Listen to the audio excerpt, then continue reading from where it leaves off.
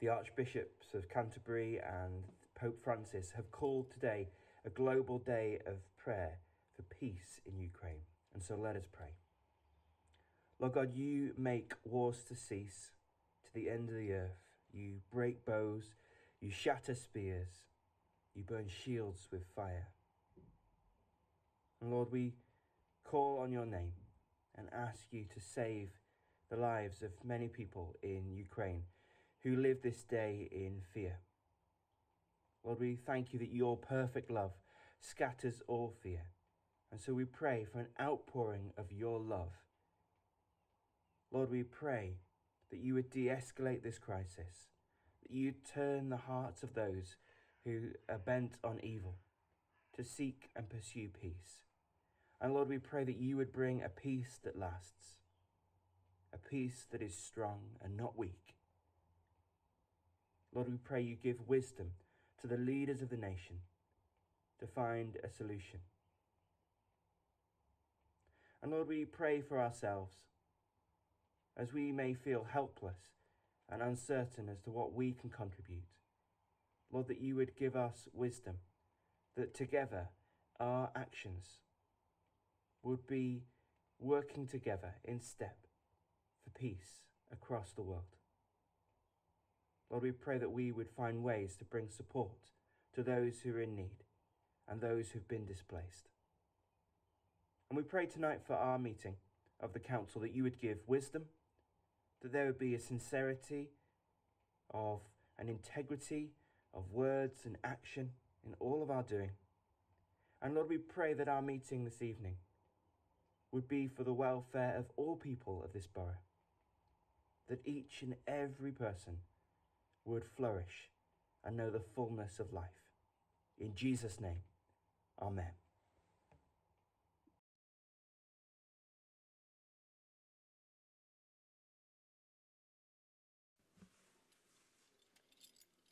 Can I remind members of the need to respect each other and I will continue to chair these meetings fairly and to show impartiality. Likewise, members of the public are welcome but should be aware that they should not interrupt the proceedings as disruption may result in removal from the public gallery. As this is the budget meeting and one of the most important meetings of the year, we need to give it our full concentration as we owe this to our residents when setting the council tax. All group leaders have been offered separate briefings about the budget. The rules of conduct for the meeting have been circulated in advance of the meeting and copies are on your seats. Apologies for our absence. The Chief Executive will read out the apologies. Thank you, Madam Mayor. Apologies this evening are Councillor Dewhurst, Councillor Draper, Councillor Holland, Councillor Rotherham, Councillor Watson, Councillor Collinson. Do we have any further apologies this evening?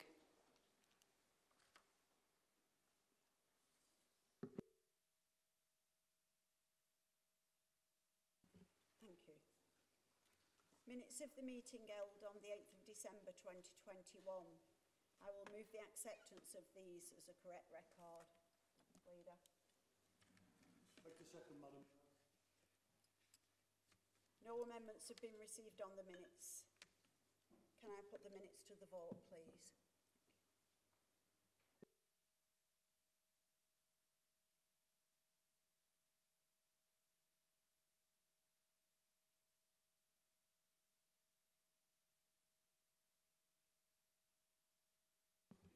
The have been carried. Item 3, the Mayor's announcements. Before I begin my announcements, I would like to say how precious democracy is and how sadly we see this challenged in conflicts across the world. The Ukrainian crisis is a stark reminder of that, and we stand in solidarity for all those affected by conflicts across the world who are forced to flee or fight for freedom and democracy. Mayor's Breakfast. I would like to advise the Council of a Mayor's Breakfast to be held on Thursday the 24th of March at 8am in Aspull Methodist Chapel. Donations will be collected on the door in aid of my charity. You have each been given a tube of Smarties to enjoy this evening. If at all possible, Please can you refill the tubes with 20 pence pieces and return it to me by the next meeting of full council in aid of my charity. New Year's Honours List. I wish to congratulate the Vice Lord Lieutenant of Greater Manchester, Sharman Birtles, on receiving an MBE. May I also congratulate Mr Stuart Parsons on receiving a BEM for his services to the music and library sectors. Congratulations on these prestigious awards. The Mayor's Ball. can I advise members that the Mayor's Ball will be held on Saturday, the 2nd of April 2022, and will be held at Killy Court, Worthington. The event will again be organised by the Charity Committee. It is a black tie ball and the proceeds from the event will go to the Mayor's charity. Tickets are still available via the charity trustees. Workforce Wellbeing Charter. Wigan Council has been awarded the Workforce Wellbeing, Wellbeing Charter. This award demonstrates the commitment to the well-being of our workforce right across the organisation and the Council will now be listed on the National Register of Award Holders. Well done to all involved in attaining this award. National Apprenticeship Awards. Wigan Council was shortlisted in the Employer of the Year category for the apprenticeships in leadership and management in addition to health and social care. Jade Lawrenson from the Reablement team won the Health and Social Care Award. Congratulations to everyone involved in the awards. Death of former councillor and honorary freeman of the borough, John Edward Hilton. It is with deep regret that I refer to the death on the 30th of December 2021 of former councillor and Honorary Freeman of the Borough, John Edward Hilton. John represented the Golborne ward and became a member of the then Planning and Development Committee in 1974 and went on to become its chairman from 1983 to 2000. He also served on the Education, Policy and Public Protection Committees. His commitment to the environmental issues was legendary with Wigan being the first metropolitan borough in the country to publish a nature conservation strategy and he was instrumental in preparing the borough's green strategy through his chairmanship of the local Agenda 21 committee. For all these achievements, John was made a Millennium Freeman of the Borough in 2000, the highest honour which the council is able to bestow. In 2001, John became Wigan's 28th mayor with his mayoress, his wife, Nora. During his year as office, he raised funds to help the Royal Albert Edward Infirmary for the benefit of patients across the borough. I now invite members of the council to express their condolences in respect of John Edward Ilton.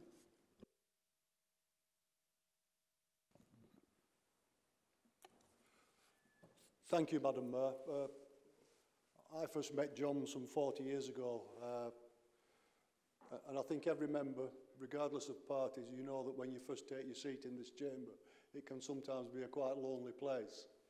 Uh, and certainly, you always look for someone who will show a bit of kindness and a bit of guidance, and John was certainly that person for me. I served with John on, for a number of years on planning committee, uh, both as a member of the committee and as vice chair, and then went on to, to I, I went on to become the chair. John, if I started, if you started to read and put everything together that John had achieved during his time in, in service in local government, you could certainly fill at least three or four pages without a problem. John was an excellent servant for this borough and certainly was proud of, of, of his heritage with Golborne. And I think, as you know, Madam Mayor, he was such a figure in Golborne politics for a great number of years. And certainly when he was chosen uh, for the Millennium uh, Freeman of the Borough, it wasn't taken lightly. It was taken because of the work that he had done continuously on behalf of the borough. John was a family man, an excellent man. He had a, a nice family, grandchildren who worshipped him, and certainly he'll be sadly missed by, by all the family. And he'll certainly be missed by me, and he'll certainly be missed by my family, because he was very close to us. John was absolutely brilliant in terms of representing this borough, both within the GM reg region and nationally. Uh, and he's still now, when I speak to people who were around at the same time, very highly thought of in terms of his contribution uh, to setting the stall out, certainly. Uh, he was instrumental at the beginning with the Red Rose Forest, which some members still uh, understand and, and what it meant to, to us as a borough. So, Madam Mayor, I'd like to place on my on, on record my thanks and my condolences to John's family for sharing John with us for a number of years in this council chamber. Thank you, Madam Mayor. Thank you, Leader. Death of Councillor Anita Thorpe. It is with deep regret that I refer to the death on the 1st of February 2022 of Councillor Anita Thorpe, ward councillor for Lee East Ward. Anita joined the council in 2011 to represent the residents of Lee East and was a member of the Building Stronger Communities Scrutiny Committee before it came the Confident Places Scrutiny Committee and also the Licensing and Regulation Committees. In 2014, she became a member of the Audit, Governance and Improvement Review Committee before it became the Audit Governance and Standards Committee. In 2019, Anita also became a member of the Confident Council Scrutiny Committee. She leaves behind her daughter Tracy and grandchildren Chloe, Shona, Josh and Elizabeth. Anita's son Gary sadly passed away three years ago. The funeral service took place on the 24th of February at 1pm at St Mary the Virgin Church, Leigh. I now invite members of the Council to express their condolences in respect of Councillor Anita Thorpe. Councillor Cunliffe. Thank you, Madam Mayor. Um, Anita was my friend for well over 30 years. I first met her in a little room above Abbey Street Labour Club at a meeting, and we became good friends. And throughout all that time, she's been a good, loyal friend to me, and I've been a support to her. She said to me one time, many years ago, when I first stood for the council, she said, oh, I'd never be a councillor. And then 11 years ago, we managed to persuade her to stand in Leigh East. And she really found her, her, her something that fulfilled her life because she was always working on behalf of the community. She was always fighting injustice. And she was like a dog with a bone with anything she picked up, you know. Um, she didn't have an easy life, uh, Anita, and she brought up Tracy and Gary on her own uh, as a single mother um, due to her uh, marriage breaking up. Um, and she worked at Ward and Blackstone and um, actually as she got to later life, she took the opportunity to do a degree in criminology. And she was successful in getting a degree in criminology and worked as a lecturer at Bolton uh, for quite a while. Until she retired. But Anita was um, somebody who was always trying to help people and do things for people. Anita was brought up on higher folds, and I remember leafleting in higher folds, and she was telling me which house in Windsor Avenue she'd been brought up and talking about higher folds. And she always had an affinity for higher folds, and in fact was the chair of higher folds community centre, something that she really got engaged in. Um, when, when I say she did all kinds of things for people, so Anita volunteered at Atherton and Leigh Food Bank.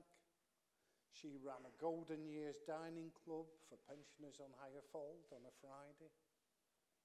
She ran a Monday afternoon bingo club session uh, for pensioners. And I don't think you had to be a pensioner to go there, but primarily were pensioners. And then she arranged trips for them out. And in fact, the last trip she went on was the trip to Blackpool that she organised just before Christmas for all the uh, people in that club. And um, to many people, Anita's death was a shock. But I've known since last year, and Anita knew she was terminally ill. and that she only had six months to live. And Anita said to me, I don't care about that. I'm just going to carry on doing what I'm doing. Fighting for people, trying to get them justice. She was even dealing with constituents' complaints right up to days before her death. And that's the type of person she was. A caring person who bravely fight. And when I say she was like a dog with a bone, and I mentioned it at the funeral, a few years ago, she, dealt, she went to see the people at the top end of Holden Road, near Green Lane Chippy, because people were concerned about the number of cars parked in front of their houses, and it's people going to the chip shop. And she said, well, there's a piece of land on the corner of Holden Road and Manchester Road that's just uh, a piece of spare land. We could make that into a car park, and then people will not be parking on Holden Road. I said, well, first of all, Anita, I'm not sure that it'll stop people parking on Holden Road in front of their houses when they go into the chip shop. And, and I'm not sure in these days of austerity how the council are going to find the money to build a car park. Three or four years she battered on. She must have harassed every officer in this council for three or four years. And eventually that car park was put there. And from the very day it was there to, the, to now, I've always called it Anita's car park. And that, that will always be Anita's car park because she was so insistent on resolving everybody's issues and everybody's problems. In fact, once on social media, somebody put on that Councillor Anita Thorpe had not, not answered the email that was sent to her. And she actually tracked down the woman, said, How dare you say I don't respond to emails? I've never had your email. And I think it was something around uh, a slight problem with the email address that she'd not received it. But Anita went on and dealt with her problem. She was forthright, she was brave, and she really found her role as a counsellor. She never aspired to any great position. Her satisfaction was serving the people and serving the community in which she lived. And she did that right up to the end of her life. She was an amazing person. And I said at the funeral, if anybody deserves the title of the People's Champion, that was Anita. She, fear nor, nor fear nor favour, she would represent everybody who she felt wasn't being dealt with rightly. And even on this council, I think it was reported in the press one time, when she, on scrutiny, they were talking about the service of the council and the call centre. Anita led into a real tirade about how she was on the phone calling the call centre, actually cooked her tea and ate her tea before they answered it. You know, so she wasn't afraid. She would stand up for anybody and say anything, but she was forthright and she was brave to the end. She carried on knowing that she had very few months left. Her son Gary died three years ago. Her sister died several months ago. So she's had a lot of know, trouble in her life, and like I say, it's not been an easy life. And interestingly enough, she said to me, uh, I spoke to her a couple uh, on the Tuesday before she died. I'd spoke to her, and she said, "That doctor's been round my GP, and he said, you'd said initially do not resuscitate if you have a heart attack or a stroke or anything. He said, Do you still want that to happen? And she said, I certainly do. She said, I do not want to die and have somebody banging on my chest, bringing me back to life, to die again. I'll just die the once, thank you.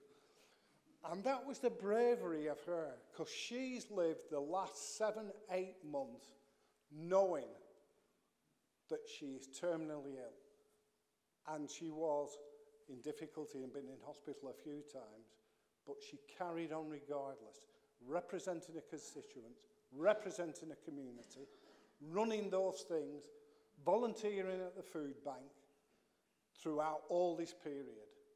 And I think she's been a credit to her family. Her family are proud of her as she was proud of them.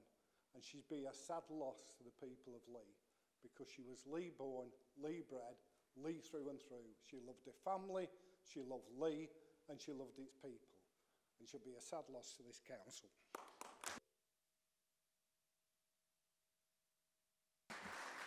Thank you, Councillor Cunliffe. Are there any other members wishing to speak? Councillor Walker, thank you. Thank you. Just to add, as her other ward colleague, um, I often had to bear the brunt of some of that doggedness. Um, and it wasn't easy sometimes, to be honest, because she wouldn't let things go. Um, Keith made that simple point, but it, it, I can't emphasise too much how when she, when she got hold of something, she just would not let it go. And I know that officers have given in. You know, I've pointed this and said, no, Anita, we're not doing that at the moment. We haven't got the money for that. But she's nagged so much that, that some of our officers have given in, a bit like that car park, that, that you know, would never have happened under normal circumstances. Um, but that was Anita through and through. But she was particularly proud of the uh, community centre at Higher Folds. So she was the chair of that, and I was a, a member of the, the board with her. Um, and again, she would never let go, and she assumed that everybody was going to be as committed as her. And one of the things that she struggled with was when people let her down. And people do. Uh, and I, if she had a fault, her fault was in believing what people told her, absolutely. And one of the things, of course, as a counsellor that you learn over a period is that some things are so incredible that you think that there's something missing in the tale that's been told you. Uh, but, and I always, when, because we, we, we, had, we have surgery three, three Fridays a, month, and we always have a, a, a share there of, of some of the issues. Um, and main, mainly the blow-by-blow -blow accounts of, of what Anita's been up to. But she could never understand it when people didn't tell the whole truth. They just told a bit of the truth. Uh, and and it, it was just her, she just had absolute faith that they wouldn't, they wouldn't dream of, of, of not telling you everything. Uh, and, you know, that everything they said was right and every failing that was wrong was the council. And sometimes it wasn't. But, but every time it wasn't, she was just so disappointed in people letting her down. She didn't, she couldn't come to terms with why people do things like that. And it, it was just part of her makeup. You know, why wouldn't you tell the truth? Why wouldn't you tell us the whole story? But uh, it, one of the things that I can't help but remember, because one of the things we do in in Leigh at election time.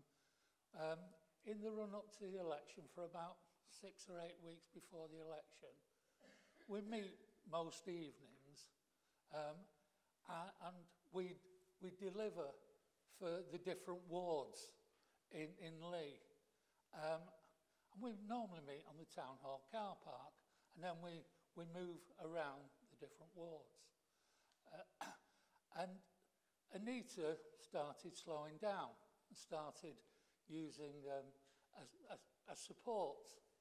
Um, but she had two beautiful granddaughters.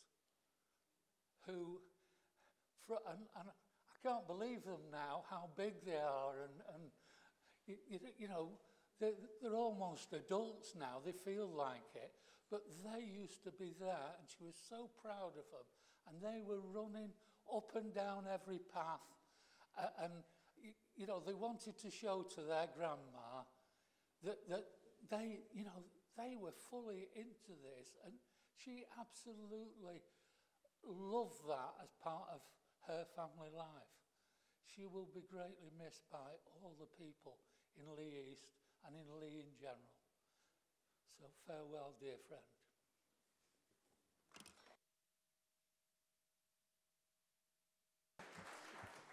Thank you, Councillor Walker.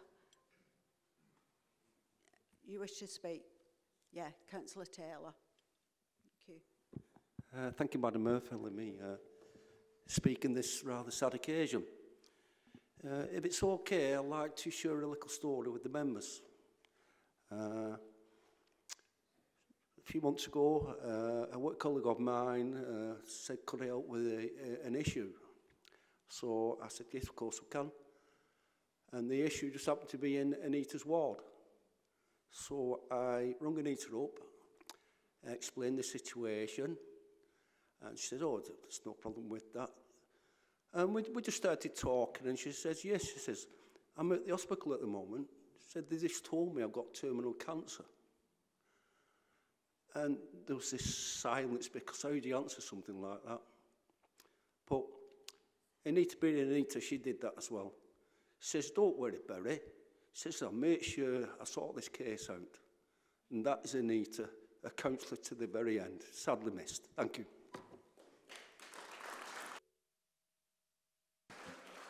Thank you, Councillor Taylor. Are there other members? Councillor. Thank you. Uh, thanks, Madam Mayor. Uh, I'll not be long. Uh, the fitting tributes tonight to Anita I think, encompasses all what Anita was about. Obviously, I only knew her a short while, the four years I've been, since I've been elected, but she came across as a very hard-working councillor, committed to her, communities. And in the committee, committee meetings that we were together, I thought she was an independent, really. The way she go on and fought for a, uh, a, a constituents were, were unbelievable. And she'll be sadly missed by ourselves on this side of the house, uh, chamber. Thank you. Thank you, Councillor Gerard. Councillor Winstanley. very much, Madam Mayor. And um, uh, as well as adding my condolences to what's already been said, I would also like to add my condolences about John Hilton as well. Uh, didn't get in at that point and uh, I just wanted to offer my personal condolences to the leader as well because I know how close he was to John. And John was obviously uh, my ward councillor for many many years as long as I can certainly remember anyway up until him retiring from the council. Um, unfortunately I didn't know Anita as, as well as, as obviously some other members here uh, uh, have, have obviously articulated how well they knew her. But what I do know is how dedicated she was to her local community and how hard she worked on behalf of her residents, as did John when he was on the council as well.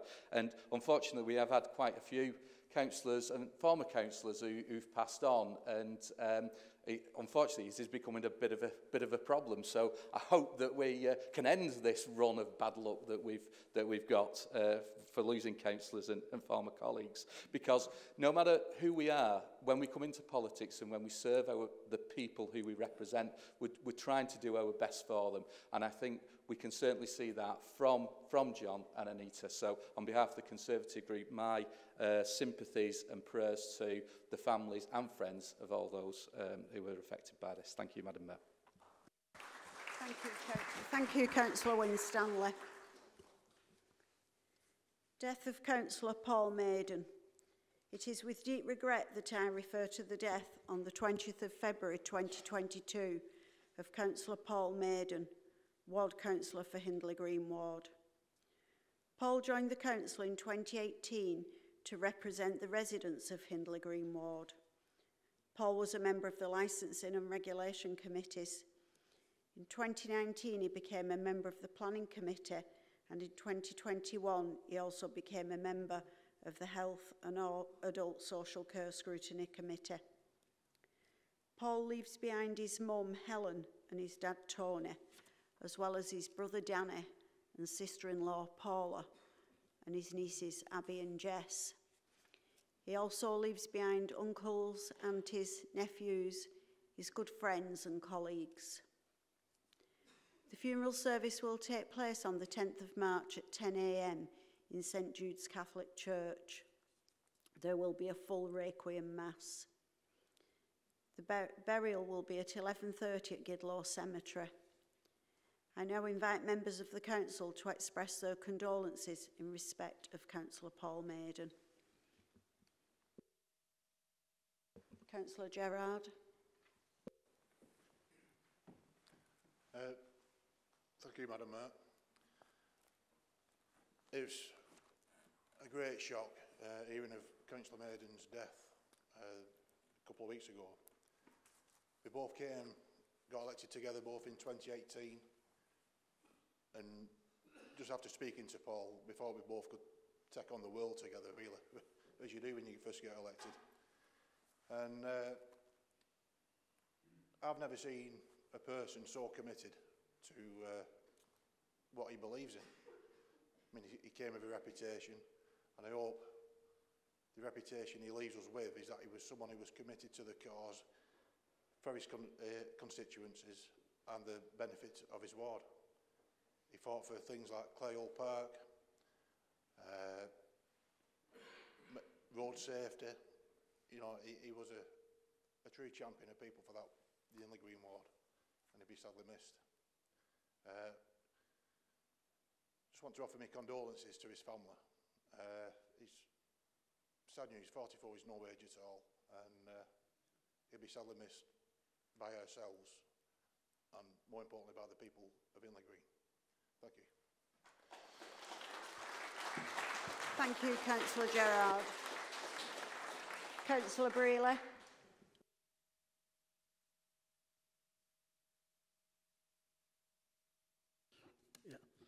Thank you, uh, Madam Mayor. Yeah, Paul, well, we met Paul in 2018 when he got elected. Uh, very strange man, very passionate and very committed, like uh, Councillor Gerard said. Uh, there wasn't a side to Paul, he was a keen fisherman. Um, had many occasions with his dad and Paul went on a few fishing trips with him. He was uh, very competitive, competition with his dad, like I mean, and he was really good. Um, I think he's what he's going to be remembered for is his fight with the Wigan Council and the market traders. He was so passionate about that, and uh, he really looked after people. He went down, he talked to them, and time after time and time he fought their corner. And it's a shame that he's sadly passed away. He'd have been doing the fight now, even though he shut the curper. He'd have been there fighting the, the corner for them. And, you know, he will be sadly missed. And right up to the very end, um, he served his community well and he gave a community group a much needed workshop shed, and I believe they're going to name it after him, um, which is a good honour. Anyway, thank you, Madam Mayor. Thank you, Councillor Brealey. Are other, other members wish to speak? Councillor Houlton. Thank you, Madam Mayor. Uh, I can only reiterate what's been said by colleagues tonight. Um, I knew Paul for a very long time. I never knew him away from this chamber. Um, we were very political together. I've known him for years. We used to stand outside and give our opinions on what had happened before he got elected. And then when he was elected, I would get a phone call after the meeting and we'd, we'd hash through what had happened. And I have to agree with Bob, he was unbelievably committed to his ward, something that one can only aspire to. The, the several things he was involved with, and the market traders is the one that screams the loudest to me. He was unbelievably committed. He'd phone me up and I'd say, I know, try this. And it's a devastating shock, really, for his family.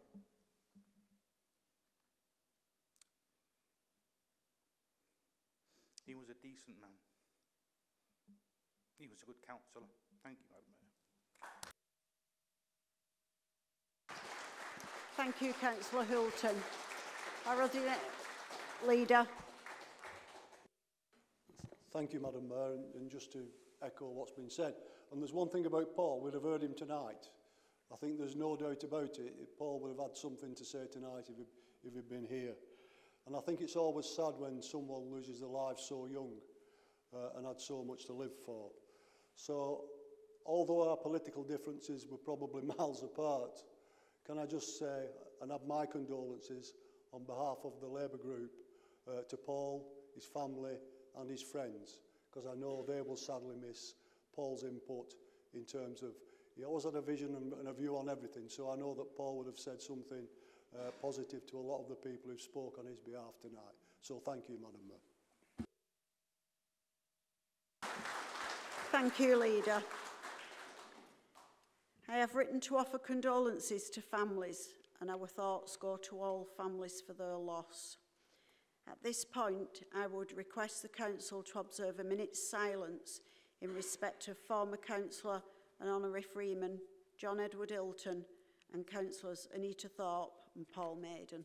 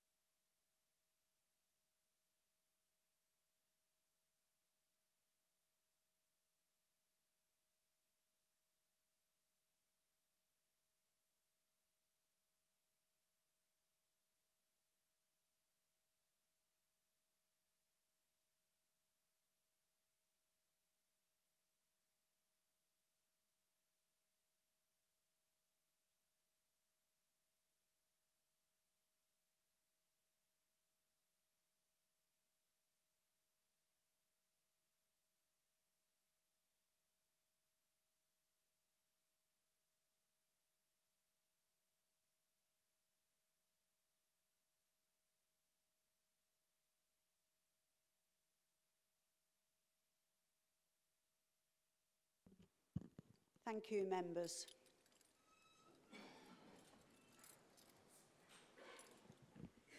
Item 4, Declarations of Interest.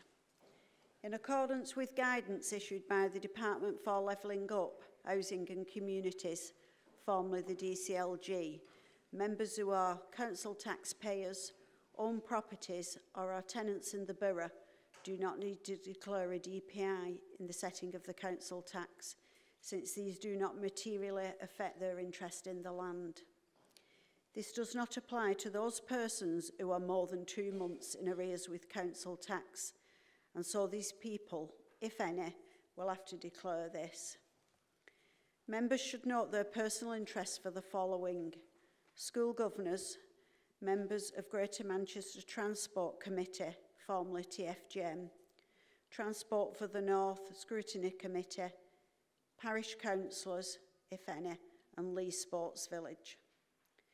Members are asked to consider other DPIs for the purpose of this meeting and any other personal and prejudicial interests. You will have to leave the room at the relevant part of the meeting.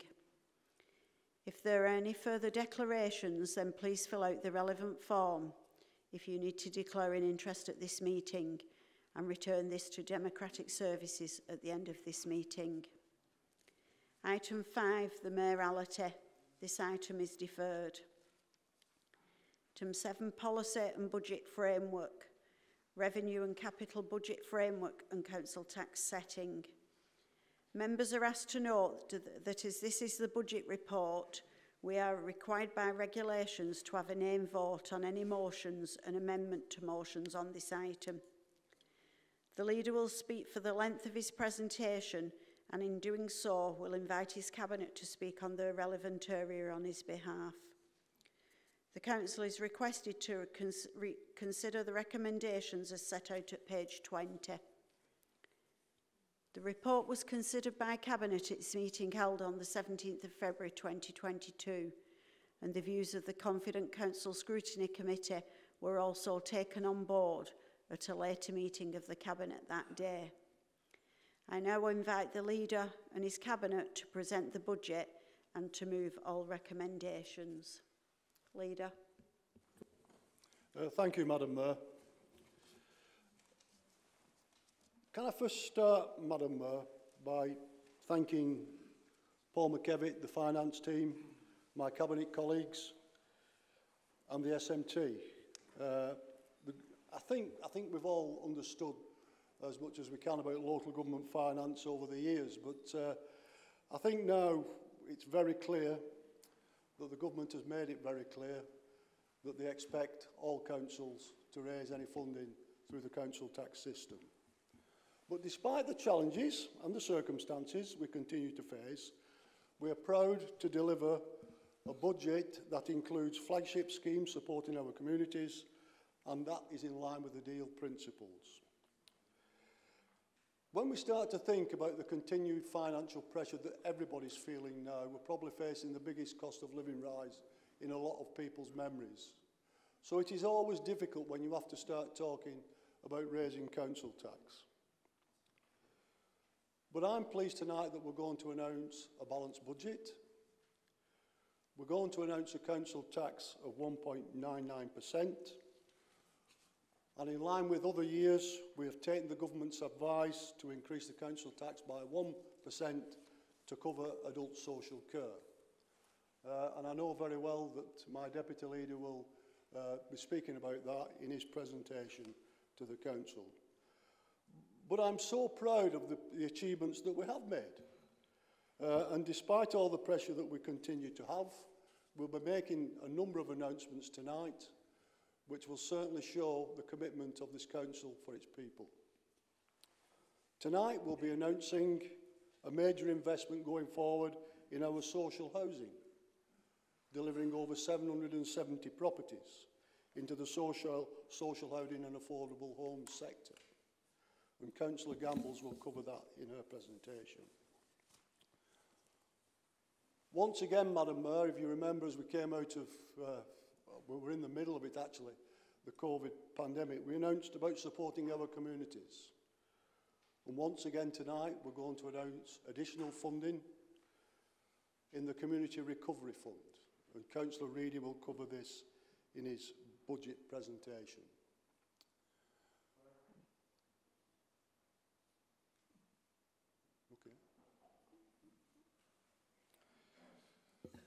I'm pleased to announce that the work is now well underway with a new youth hub in, in Lee at LSV. And this is a significant statement in terms of what we want to deliver for young people across the borough. And Councillor Bullen will touch on that in her presentation that she does tonight. Last year, we launched our town campaign and it showed our commitment to our district centres.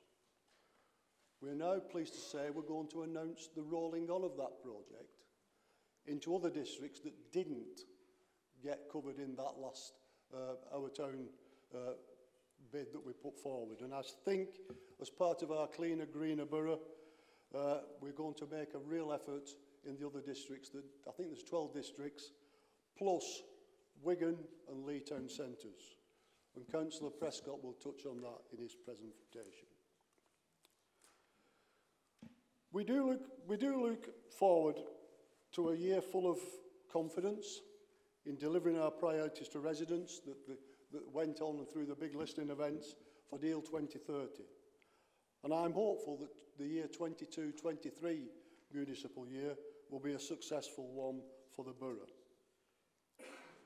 I know at the time when many people in many sectors, including local government, are concerned about job losses and their careers. We are making a positive statement tonight. There'll be no cuts to services, no job losses, and I am pleased to announce, on top of we announced last year, a further 100 apprenticeships and graduates within the council over the next two years. And I know how much that means to a lot of young people in this borough and shows our commitment to the private sector and hoping that they will follow suit in giving young people, in particular, opportunities into training and employment. We have some great events to look forward to in the borough in this year. And I think we touched on it last time. Unfortunately, the pandemic got the better of us again. But this year we will see in 2022 the Women's European uh, football taking place at Leeds, Leeds Sports Village. And we also have at Lee Sports Village and the DW Stadium, the Rugby League World Cup. And that certainly puts us once again on the world sporting map in terms of what we can deliver here in the borough. Also this year, we'll be granting the Freeman of the Borough to the Duke of Lancaster's regiment, and that ceremony will take place in May. I was privileged, Madam Mayor, as you were, to be at Lee Town Hall only a few days ago, it seems, when we presented uh, a star to Joe and Margaret Gal Galvin for all the work that they've done successfully over the last 50 years in supporting young people through Lee Harriers. And it was very fitting on the, on the, on the week that we presented the star that Keely Hodgkinson, as many of my colleagues know over there, broke the indoor world record, which was absolutely fantastic. And Margaret and Joe were so proud of what was achieved on that night. Also, Madam Mayor, I'm pleased to announce that this year we're going to honour two fantastic charities that work in our borough continuously over the last 10 years. And this year we're going to place two stars in Believe Square. One for Joseph's goal and one for joining Jack. And I think people will appreciate the work and the prestige that they give to this borough for the work that they do in the charitable sector. Madam Mayor, tonight we'll be presenting a balanced budget and I will now ask my colleague Councillor Rehman to present the budget to, to you. Thank you, Madam Mayor. Thank you, Leader. Thank you, Madam Mayor. Madam Mayor, we haven't yet drawn the line under COVID. The uncertainty, financial challenges, and COVID fatigue are still here with us, with challenging months and year ahead. No doubt, the effects of this pandemic will be felt long after it disappears, but we have started the journey to recovery for a stronger, more prosperous, and a healthier Wigan. Building on our relationships with our communities, dynamic businesses, excellent schools, hardworking staff, and above all, our resilient people. This budget is the foundation of our vision for a more inclusive, greener, and a fairer Wigan. Madam Mayor, I am not going to pretend that this budget was brought forward without any pain. This has been one of the hardest budgets we've ever set. It's been prepared in the backdrop of a multitude of challenges the cost of living crisis, the climate crisis, and the Brexit crisis. Madam Mayor, last two years obviously have accelerated the decline but it's not the pandemic which created these challenges. The pandemic has just exposed and widened the cracks in an already crumbling system of welfare, social care, housing, and health. As leader said, this government expects local councils to increase council tax and put precepts up to fulfill their duty of providing children's services, adult social care, highway maintenance, and refuse collection. Currently, we have a 27 million pound overspend in our children's services, an overall gap of 9 million pounds, and our adult social care needing an additional 3 million pounds every year, which means that even a maximum allowable tax increase wouldn't even cover the increase of our social care costs. And just to reiterate, this is how this government expects local councils to provide statutory services and support our most vulnerable groups. Colleagues, since the austerity began, this council has had to cut 160 million pounds from its budgets, and that's 484 pounds per head in this borough. We are rightly proud of our record of having frozen the level of general tax for a consecutive six years. However, because of the government's clear move to funding councils through council tax rises, we had to take the tough decision of increasing the council tax this year. Therefore, Madam Mayor, we propose to increase the general council tax by 1.99% and take the adult social care precept of 1% recommended by the government. Madam Mayor, let, let me simplify our proposal. Most of our properties are in Band A. They will be paying £27 extra per year. That's £2.25 per month. And for a Band D property, it will be an increase of £40 per year. That's just above £3 extra per month. For the few, this increase is affordable, but for most of our residents, this will take the toll on their overstretched and tiny budgets. We know that many more people will be moving to universal credit and many more will be losing their jobs. And a national insurance hike will hit our working residents harder. But we are ready to support them with our generous welfare offer and our council tax support scheme. Madam Mayor, once more, even after the proposed increase of 2.99%, Wigan remains the lowest council tax in Greater Manchester the lowest in the Northwest, and the lowest among metropolitan authorities across the country. Madam Mayor, this government has betrayed local authorities of all political colours, cutting general funding and introducing ring-fenced pots of money, pitting local authorities against each other to fight for that money with no regard to need, deprivation or tax base. And I hope this is not how this government intends to deliver on their levelling up agenda. Madam Mayor, unemployment is on the rise. More families are relying on universal credit. Wages are stagnant. Energy prices have more than doubled. Supply chains are disrupted. And local economies are limping. And, Madam Mayor, there is a real fear that communities let down by a decade of austerity will also miss out on the recovery. Inflation has risen to more than 5% and expected to get worse. In work, poverty has skyrocketed, and it would be naive to expect that these challenges will disappear on their own. These are national, rather global challenges, and not unique to us. But in Wigan, where we can make a difference, where we can address these issues, we are ready and willing to act. Addressing the rising demand in social care, both in adults and our children's services, addressing the cost of living crisis with our welfare offer, not relying on borrowing and using our cash to meet our expenditures wherever possible, and above all, being responsible with our public money.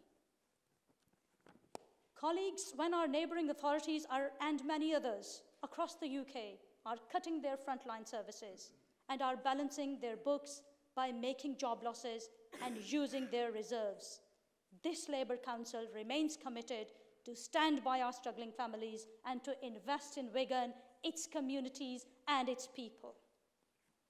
Our financial management is competent, and our Treasury function is resilient. We are ready and willing to initiate, facilitate, and kickstart the recovery, and this is how we are going to do it. Madam Mayor, this Labour group realises that our elders deserve better care, dignity, and respect. We believe that our aging population shouldn't be abandoned in hospital corridors waiting to be discharged with no care packages in place. So we are going to invest an additional two and a half million pounds per year for the next three years in adult social care. And this is to improve outcomes, foster enablement, and less reliance on the long-term care. Madam Mayor, the lack of housing is becoming a national scandal and locally we have more than 12,000 people on our waiting list. To address this, we have an ambitious plan of house building.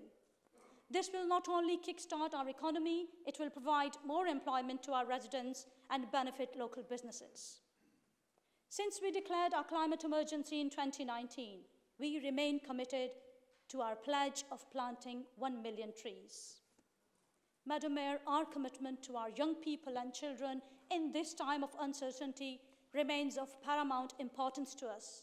So after successfully delivering more than 100 apprenticeships in the last 12 months, the leader has pledged to deliver another 100 for our young people and graduates. Madam Mayor, financial challenges in the last decade have brought us even closer to our communities. Through our deal principles and while dealing with COVID, we have reinvented and strengthened our bond with volunteers and community groups. Since the pandemic started, we have recruited more than 1,000 volunteers. So we are going to invest more in the Community Recovery Fund so they can keep on enriching our social and economic fabric. We value local identity and local pride. Our residents have where they live. So we are injecting half a million pounds in our town fund, which will be spent to revitalise town centres. And it will move to new townships this fiscal year. To tackle the scourge of antisocial behaviour, we are committing to more investment and resources in our estates.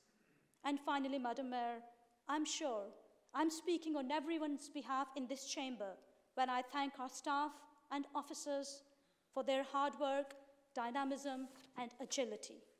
I particularly want to thank Paul and our wider finance team for being proactive and robustly managing our finances. I want to thank our leader for his leadership and every member of Team Wigan for their commitment and passion to deliver the best for our residents in very challenging circumstances. Madam Mayor, I will take a moment to remember and pay tribute to our colleagues who were here with us in this chamber in this meeting last year, but are not with us anymore. So, Madam Mayor, more investment in adult social care, more money for our looked after children, more initiatives for our green agenda, a hundred more apprenticeships, more investment in improving highways, a renewed commitment to tackle antisocial behaviour, more investment into our towns, more carbon-free developments, no job losses, no cuts to our frontline services, with the lowest council tax in Greater Manchester and the lowest council tax in the Northwest, Madam Mayor, once again, I am delighted to commend a balanced and a financially robust budget to this Council tonight. Thank you. Thank you, Councillor Rehman. Leader.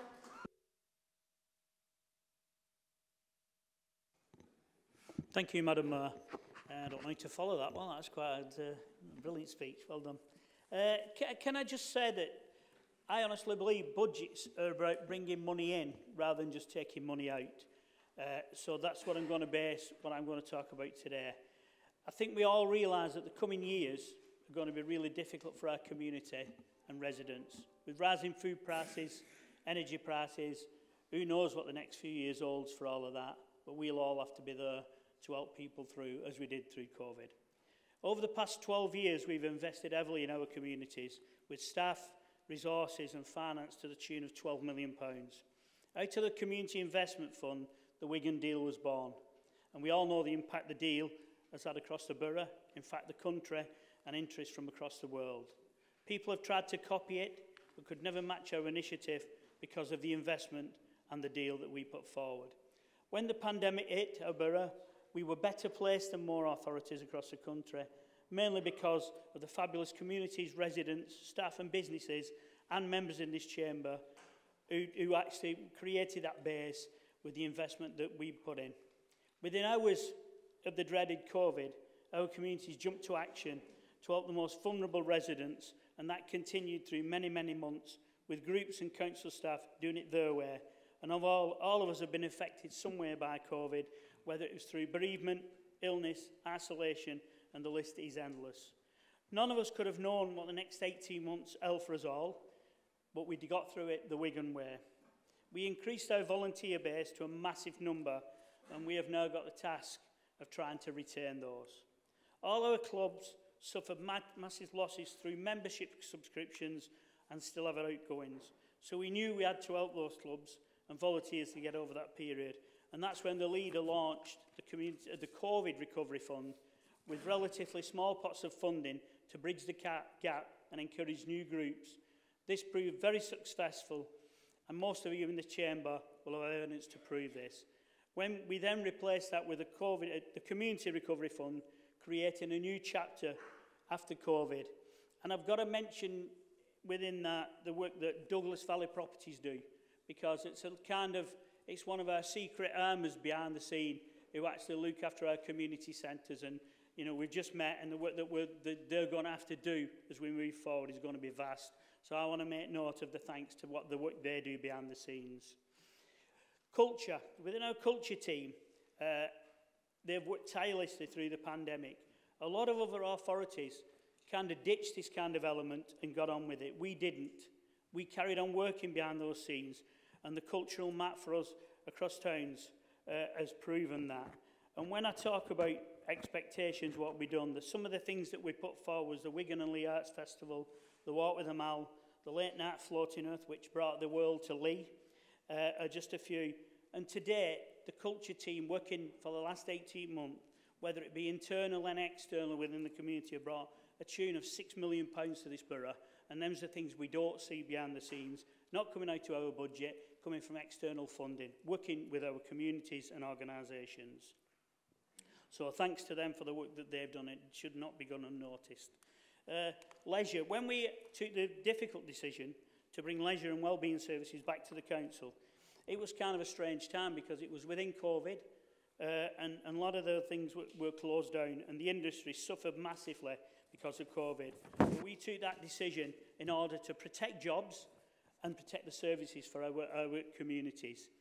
And residents told us they rely on this service, so that's why we did that one of the things that people don't realise, and I would encourage people uh, in this chamber to go around to the centres, and I can take them round whenever they want, is the impact that that now is having on our communities and working with our health providers and working out there. And just examples of that, doing lots of work with people with COPD, and I think we're going to be seeing a lot of the long COVID stuff and cancer rehab. So there's lots of stuff goes on behind the scenes in leisure centres and work outside. I had, I had the pleasure, if you can call it that, to go out with a member of staff uh, and visit uh, a resident uh, who'd suffered COVID and the work that our staff are doing with that gentleman in this instance, but doing this across the borough. And he, he could not thank the staff that he'd done. This guy, within six hours of, of, of getting COVID, was rushed into hospital, was on a life support machine, lost every kind of function that he had, and had to build back up. And, and it, was, it was art-rendering to see what we'd done, but it was also a reminder as how COVID had hit our communities and people like that. He was an healthy 56-year-old guy who'd never had any illness, and it just shows what will happen to people going forward. We're, we're actually taking a massive uh, pilot through to our bridge about bringing clinics and treatments uh, in a clinical setting into our communities. So physiotherapy, diabetic clinics and so on. So there's lots of stuff that we're doing, linking with Keith's teams with adults and, and Jenny's with children's and taking that health uh, level forward and about how we work closely with our health colleagues. And that, and again, and with the leaders, uh, leadership has brought us through this. And, and regular meetings we've had from the real dark days to how, how the pressure people was under. 159 members of staff who worked for IHL was immediately brought into the council and under the leader's direction and they got an increase in their wages uh, because naturally they, we wanted people to be paid that living wage. So it was very, very important. Our leisure centres membership has gone up by 1,000. We have now 1,200,000 uh, members. The Learn to Swim, we've got 100,000 visits to our leisure centres, and there's lots and lots happening there. And members have mentioned this in this chamber. We're really delighted when we announced that we was keeping and, and, and running low background and in and out. And I've got to say that the membership of that is increasing fourfold. But what I would is ask all members of this chamber who are on governing bodies or in connection with the schools to, to book those facilities. We're back up and running. They've been better than ever than they've ever been. And we've got staff from Scotchman Flash working up there. So it's something that people need to kind of really promote in this chamber. I think the leader touched on the investment that we've done uh, at the hub uh, at Lee. So we've also got the investments at Ayall and Pennington. We're going to invest 2.5 million in Pennington, the CAF, the visitor centre, the toilets. This has been overdue for a long, long time at Pennington. Uh, and a £300,000 investment in the children's and venture play area there. We're also investing, and I think uh, Councillor Bullen will, uh, not steal a thunder, will be saying more about this, £2 million in the youth hub at Lee Sports Village. We've got the, Wigan, the Women's Euros and the Rugby League World Cup to come. There's really lots and lots of exciting things happening in this borough, all coming out of COVID when we've worked so really hard. The 4 million Heritage Lottery Fund that we've put in for air is looking really positive. There's lots of work going on beside the scenes there with officers, and that's really looking good. That brings in the plantation gates, the bothy buildings, and all, all the infrastructure around the park, like the pond. So that will really make our visit a destination. 500,000 people a year visit air, and we're hoping that increases uh, fourfold. So the future is really, really, really encouraging. I want to just touch on briefly is our PR and events team. It's kind of one of those teams I always said that people, people only criticise PR teams when things are going wrong. They don't look at the day-to-day -day running of how the reputation management of this council moves forward. And, and we can see that the reputation of Wigan is paramount all over this country. And I know people, some people on opposition benches always point to different things, but you see a different story when you see that reputation you talk to people. The promotion that we put out daily on all the stuff that we do, whether it be our town stuff, the phosphorus and things like that, you know, the walk with the mal, the, the art festivals that we do. One of the things that we did do uh, in uh, 2019, uh, probably four weeks before the pandemic hit us, which none of us would have done, was set an events team up. And you might ask, why did we set an events team up? Because people have looked in this borough when events have gone on in the past, not really well coordinated. We didn't raise the revenue we should have raised from these events because we didn't have that structure. Health and safety issues, so we decided to do that. But one of the directions from the leader came that this had to pay its own way. And when we're doing events, that had to make money. So within that COVID period, naturally events collapsed. We didn't do it. But it gave that opportunity to John Elrick and his team to kind of build them policies up and all the things that got were behind the scenes.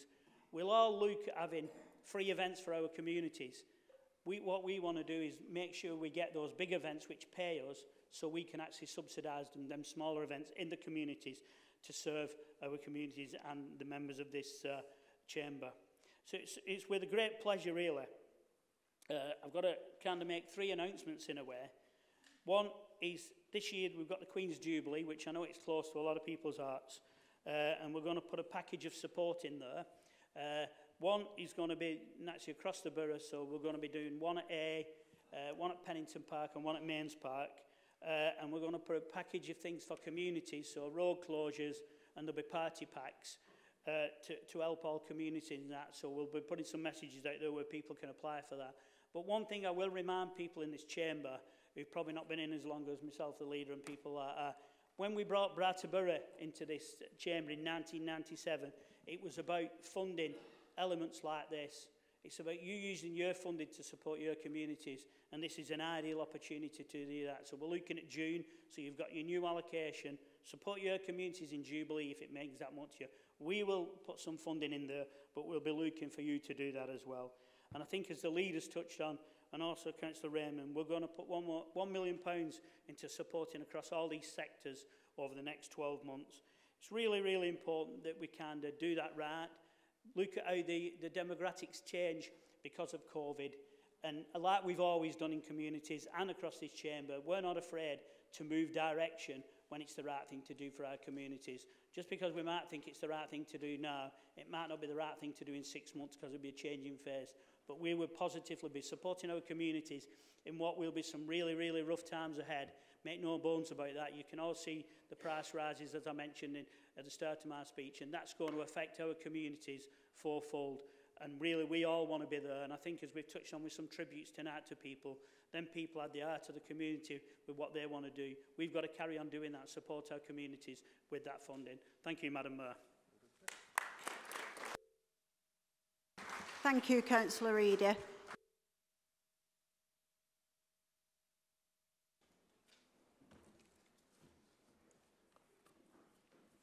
Thank you, Madam Mayor. Good evening, everyone. I'd like to highlight some of the achievements of the last 12 months in children's services, if I may. And I would suggest to you that good use has been made of the investment that this council provided for children's services. And we continue to deliver on our vision for all of our young eh, for our children and young people. We're very clear about our commitment to having the voice of young people at the heart of everything that we do. The advocacy offer for children in our care is better promoted and more children and young people are using the service. The Safeguarding Partnership is working with a group of pupils from a local primary school to understand what safeguarding means for children. The senior leadership team and myself have met with Youth Cabinet to get their ideas and thoughts on our COVID recovery pledge. Our Edge of Care offer has been reviewed.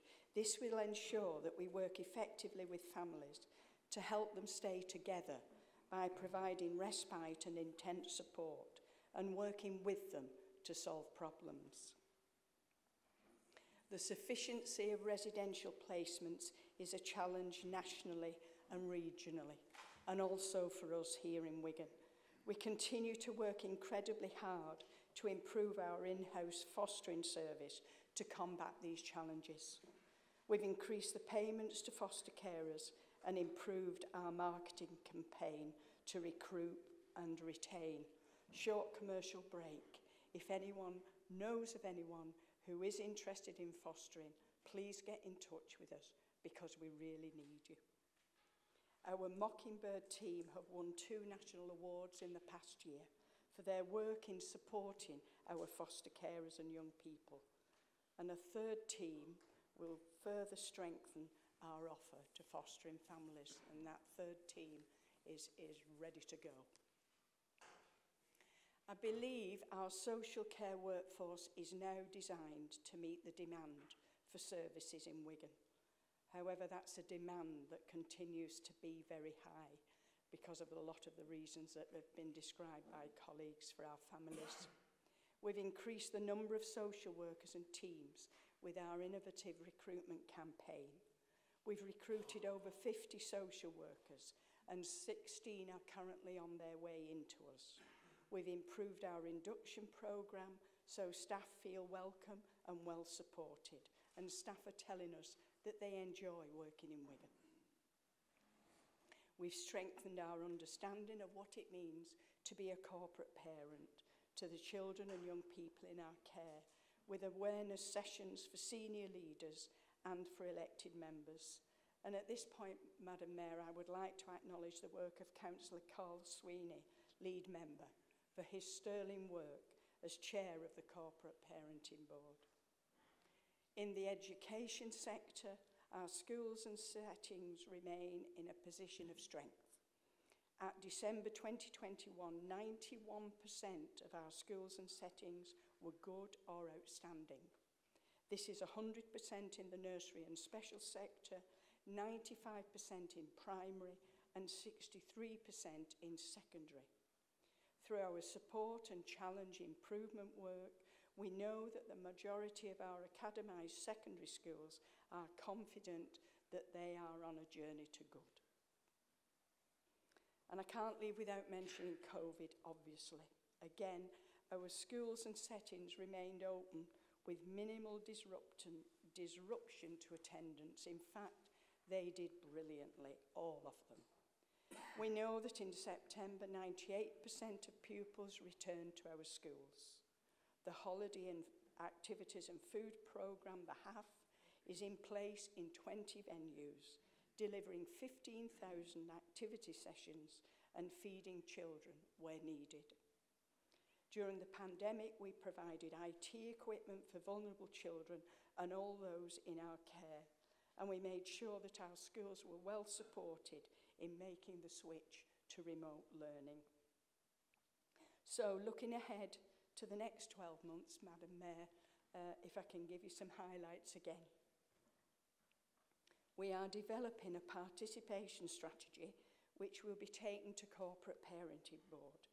This is key in order to develop how we consult with children, young people and their families. And linked to this, we had what I must say was a very lively session uh, last week in our elections for Youth Parliament here in this chamber. And I look forward to working with the new representatives to make sure we shape our services here in Wigan together, listening and acting on the voice of our young people.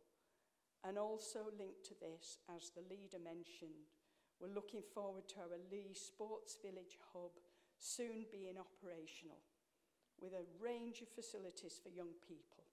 And this will be linked into local community provision, Pennington Park and Wigan and Leigh College. Really something to celebrate. We will continue to embed the SEND and the education strategies, improving our offer through detailed working plans and working with our Wigan family of schools to make sure that this work is having impact. We will also increase our local residential provision and continue to build relationships with high quality providers. We want to place a high number of children within the footprint of Wigan. This is positive for our young people as they can stay close to their known networks. And lastly, with reference to highlights, we will continue the improvements in children's social care ensuring support is provided at the right time by the right person and in the right place. And finally, if I could, Madam Mayor, just say, the developments, progress and achievements over the last 12 months, I hope you are, agree, are impressive, particularly set against that backdrop of COVID. This is a testimony not only to the hard work of the staff, but also to the corporate and political support that has been put in place. And I look forward to the year ahead with great enthusiasm and hope for our children, young people and families in our borough. Thank you, Madam Mayor. Thank you, Councillor Bullen.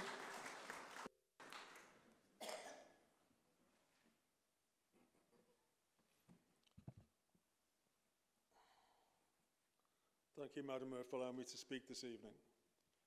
Listening to our residents has made it very clear to us that the environment and climate change were two of the most important issues to them. And that's why, Madam Mayor, over the past 12 months, we've invested over £8 million and committed a further £8 million to help clean up our local environment and help reduce our carbon footprint. Last year, we invested £1 million into the Our Town programme, which saw 12 of our major town centres getting major facelifts, with areas getting deep, a deep clean, new litter bins, benches being installed, and new flower planters and more trees planted to help our In Bloom programme. Our town centres were decluttered and many lighting columns, columns were refurbished. The Our Town programme was very successful and also really well received and, re and supported by many of our local businesses and volunteers.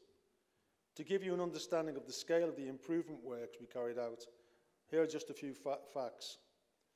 A deep clean of 12 district shopping centres, including 10,000 square metres of jet washing and the installation of 176 litter bins. We also, we also engaged with over 1,000 local businesses. We carried out a targeted clean of up to 28 grot spots with 45 tonnes of litter and fly tipping removed, over 40,000 40, linear metres of line markers were refreshed, and we engaged with 94 volunteers with over 300 hours of litter picking. 24 miles of pavements were swept, and 1,400 unnecessary items of street furniture were removed. And as part of the scheme, the delivery of the Town Live Events programme was very successful with seven community fund days held. So, given the success of the Town programme, we're now committing a further £1 million to expand the programme into our remaining 12 district centres. And those centres are Astley Mosley Common, Atherleigh, Bryn, Hindley Green, Leigh East, Leigh West, Shevington, Wigan Central, Wigan West, Worsley Mesnes, and of course, Winstanley. And again, we want to encourage footfall and support to high street businesses and foster local pride. And we are also committing to do additional sound, town centre improvements works in both Wigan and Leigh town centres.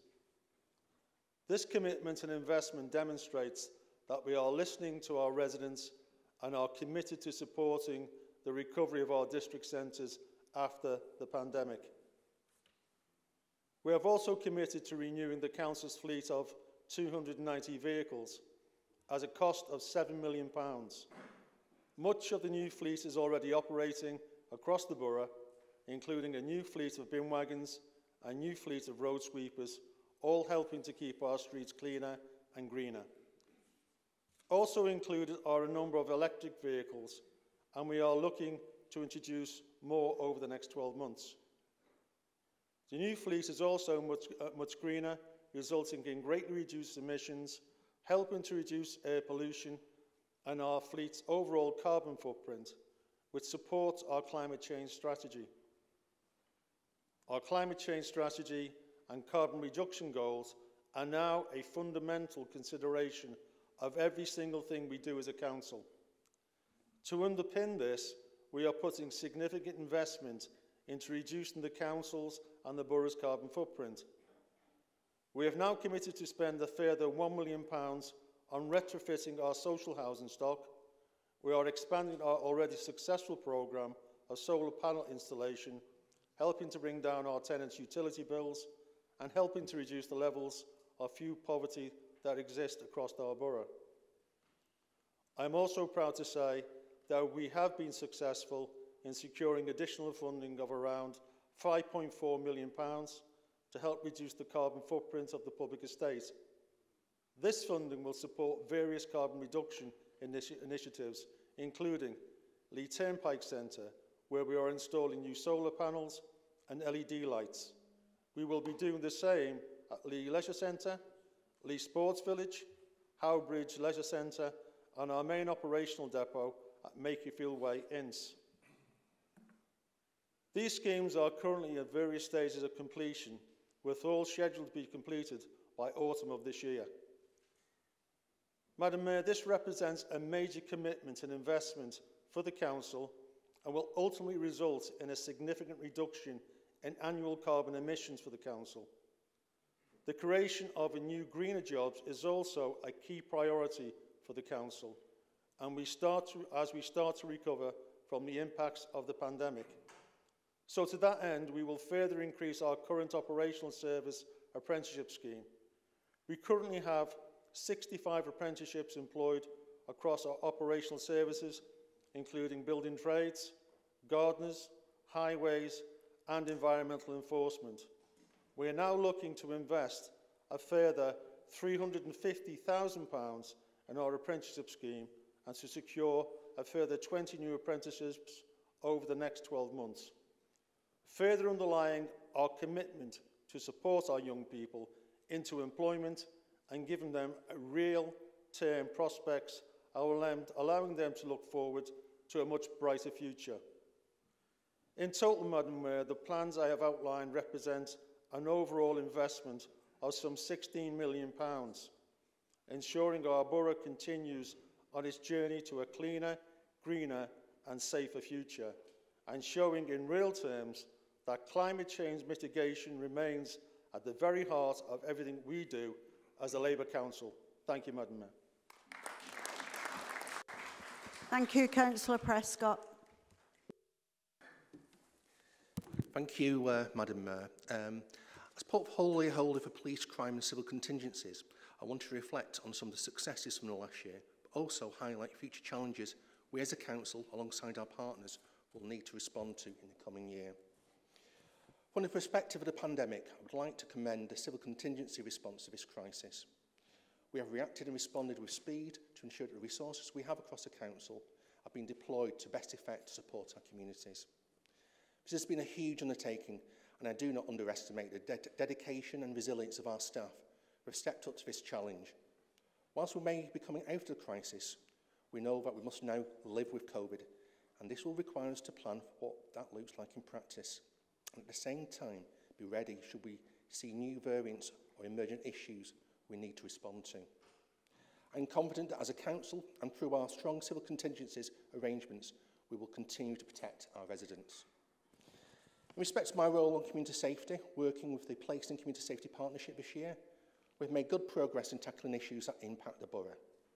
From the recent Big Listening Festival, we know that one of the key priorities our residents is feeling is feeling safe and secure in the place where they live, and concerns about antisocial behaviour remain. ASB has been one of our core priorities this year.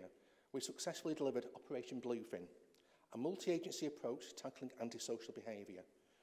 We now have daily tasking meetings with Greater Manchester Police, of target hotspots and loca locations with multi-agency plans, bringing together police, community resilience, targeted youth services, Greater Manchester Fire and Rescue, environment and enforcement officers by ensuring we have teams on the ground working together and flexing our resources to tackle this problem, we're now seeing reductions in antisocial behaviour.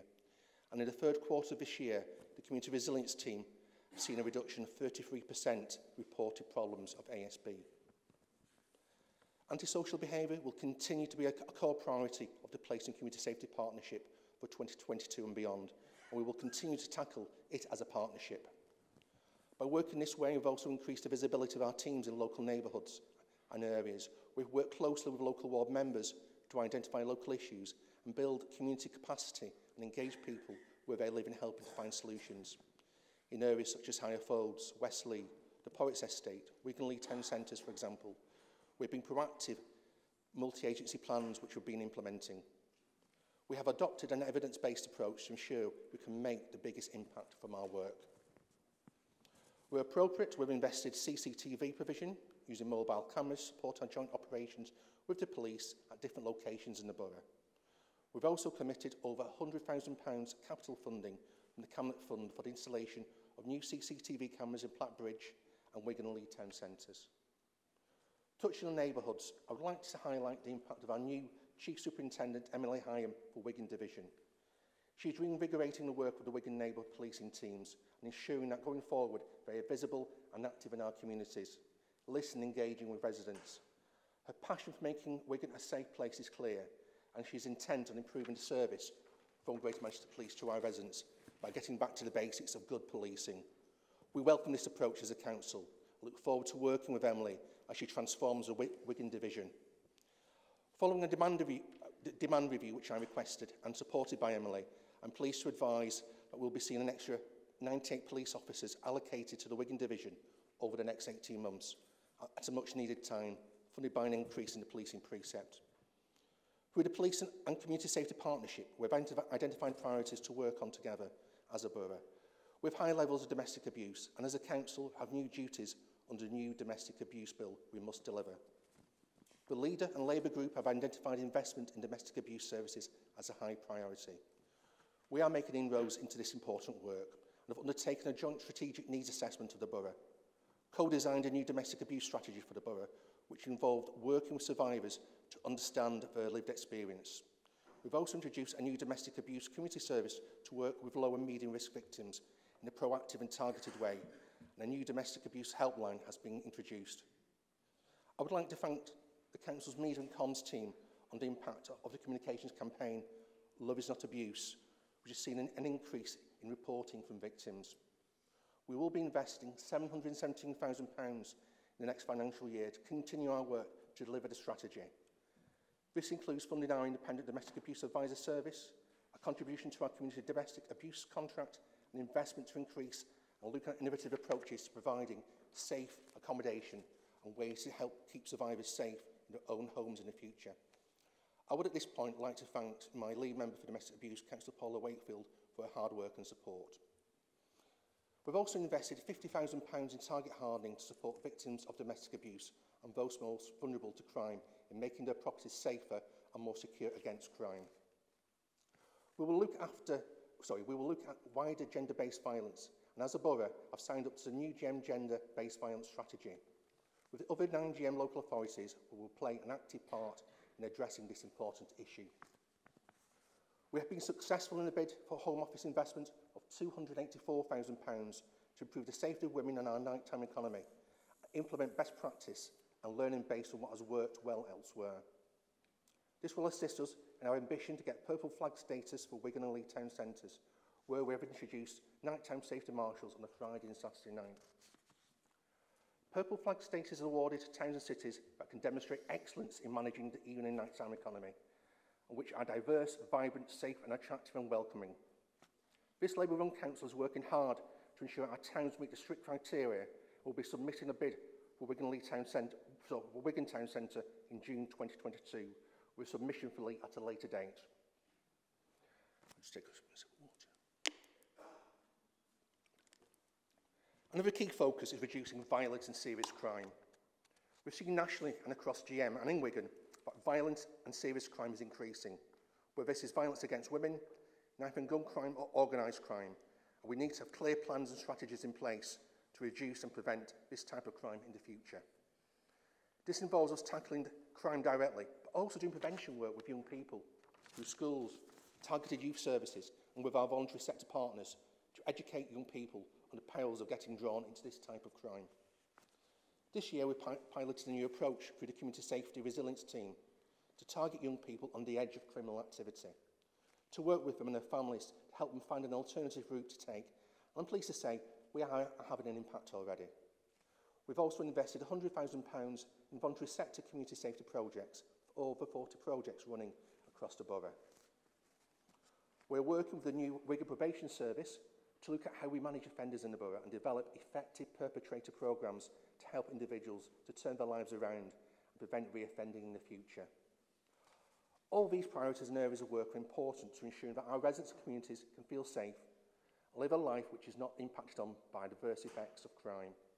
For us, this also means continued support to support community cohesion, ensuring that Labour and Wigan is a place where all nationalities and cultures can live safely together. And we celebrate the strengths of our diverse communities. Thank you, Madam Mayor. Thank you, Councillor Anderson. Thank you, Madam Mayor. Thank you. Good evening, everybody. And uh, can I just start by saying it's been my privilege to have worked with some absolutely incredible officers over the last 12 months, not quite 12 months, but also to have the support of the Housing Advisory Panel as well, whose enthusiasm and insight have been invaluable. So thank you to everybody that I've been working with over the last uh, few months. Uh, well, for me, social housing and welfare support is the cornerstone of any council, or should be. And as I, I don't think you'll not, not be surprised to know that uh, the demand for this has increased year on year. And uh, sadly, We have actually lost quite a lot of our properties, for example, under the right to buy when it was the Tory government, uh, the Thatcher government in the 80s. Since then, we've actually lost 12,000 properties uh, of affordable homes. Uh, that's a third of our stock. And I think as what's been alluded to earlier is that we've actually got some issues from our waiting list perspective. So we have some real, real problems that we actually try and have to address. And um, as a council, we understand the importance of the uh, good quality affordable homes and we're needing to explore property uh, opportunities and projects to help provide these uh, throughout the borough. So we've had to be creative in, in some of the ways that we've done that uh, in order to provide some affordable rented accommodation. Uh, despite the obstacles, and, and there's been a lack of meaningful financial support uh, for housing development from government up to date, but, re but recently we've actually been able to provide uh, an extra care unit, 20 units in Bevington Street in Ashton in Makerfield, and then we've recently done Bracknell Court, 17 new family homes in Goose Green. And one of the things that we want to do, which is again has been mentioned tonight, is that we're wanting to create, develop and build affordable new homes, of which there's over 700 uh, that we're, we're proposing in the, in the near, well, in the next few months, in the next, next few years, sorry. So we're going to be uh, continuing the, the, with the successes of the new build and uh, we're going to embark on an ambitious and really exciting programme of build uh, and this is how we are needing to do it. We're going to be creative on our smaller pieces of lands uh, by earmarking over 100 million towards uh, affordable the house building of the affordable homes. But, but, but not only that, we need to actually match that money so we're actually getting, the, uh, getting a, a wider pot of money to actually help us build those properties. Uh, and we're going to be working with local building companies and together to create jobs and apprenticeships, which again is something that we feel is extremely important and is part of our streaming of the community wealth building. We've already maximised some of that funding already. Uh, we've actually been given in the New Steps programme, it was over, an, over a million allocation for 12 homes for helping people who had uh, experienced homelessness And we're hoping that we're going to get another tranche of money for that as well. So that's something that's an ongoing thing. And we're also we, we accelerated our partnership working with other social housing providers, the housing associations that we have in our boroughs, to encourage... Councillor Gambles, excuse me a minute. Sorry. Can you please be quiet while our cabinet members are giving the presentations? I would really like to listen to these. Thank you. Thank you, Councillor. Thank you, Madam Mayor. Uh, Right, thank you. So we've accelerated our partnership programme working with other social housing providers and encouraging them to increase their investment in the borough uh, and further grow the numbers of the quality affordable homes that we have. So we're being proactive, we're working closely with other colleagues as well, which, uh, uh, and the reputation that we're getting as a borough is, is actually helping that for people wanting to come in and, and work in this particular area. I think uh, the difficulty we've got is that on our waiting list, there's a, a high proportion of people who need one and two bedroom properties. We don't have them in our stock. Our, our stock tends to, it's very limited. Our stock tends to be family homes. Uh, and uh, that's actually in contrast to our southern counterparts. And I think really with, with the introduction of the bedroom tax, they weren't really taking account of that in the north. So the north has actually got a lot of, uh, of uh, family homes. So that has caused us an issue from a, from a bedroom tax perspective as well, which we have raised at, uh, at, government level at, uh, the, with the Bacon report and everything else that we needed to review that. And, uh, but what we're trying to do is, is we've, we did actually launch an acquisition program where we bought a number of properties so that smaller units that could and also that could be adapted for uh, people who've got some disabilities in order to try and meet some of that demand. We're never going to meet the full demand but we were trying to make do innovative ways and explore different opportunities to see how we can actually increase our stock and provide that uh, that affordable home for our local people. We're actually working with the, the uh, private sector, extending the opportunity uh, through our ethical lettings agency So there's private landlords who are offering us properties at affordable rents, longer term. So it's, it's extending the opportunity for people on the waiting list and looking at it in different parts of the borough that are not necessarily traditionally in the, uh, the housing estates. So it's actually widening the choice for local people. You may know it's the Empty Homes Week this week, and uh, we've been very proactive our own empty homes, uh, and we're also encouraging uh, our privately owned uh, empty homes as well. And uh, uh, recently, the Empty Homes team has brought over about 100 homes back into use. Uh, there's a, a press release that's gone, that's gone out today uh, that it's, it's mentioning about a family in Australia who weren't aware that they actually had a property in, this, in, in the locality in the borough. And we've been able to bring that back into use as well through some of the uh, investigation that's gone on. So again, we'll look, the, the, the teams are creatively looking at different ways to actually where we can actually extend our housing uh, offer. And uh, the thing is, we also recognise that uh, the aspirations to buy our properties, uh, so, so the aspirations for some people to buy the properties, that's great. And what we've also tried to do is make uh, help them with that, so they've got equi equity loans, so they can support them into home ownership. So I think it's to date 35 households has taken us up on that, and there may be more to come as well. We're investigating self-build so that people have the opportunity to do that, but also shared ownership. So there's a, a, a mixture of uh, home tenure that we're looking at in order to, to try and give people an opportunity and options to, to get a home. It's very important to us that our tenants uh, have got a very well-maintained, affordable home that's comfortable.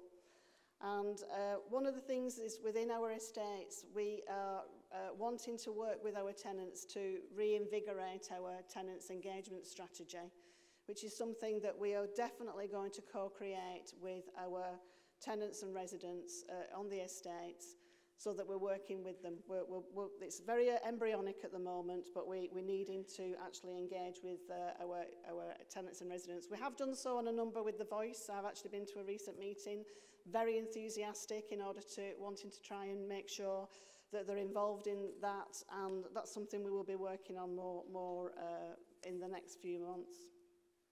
And we're also, in order to do that, I mean, for me, uh, the word of mouth, having a conversation is the most powerful.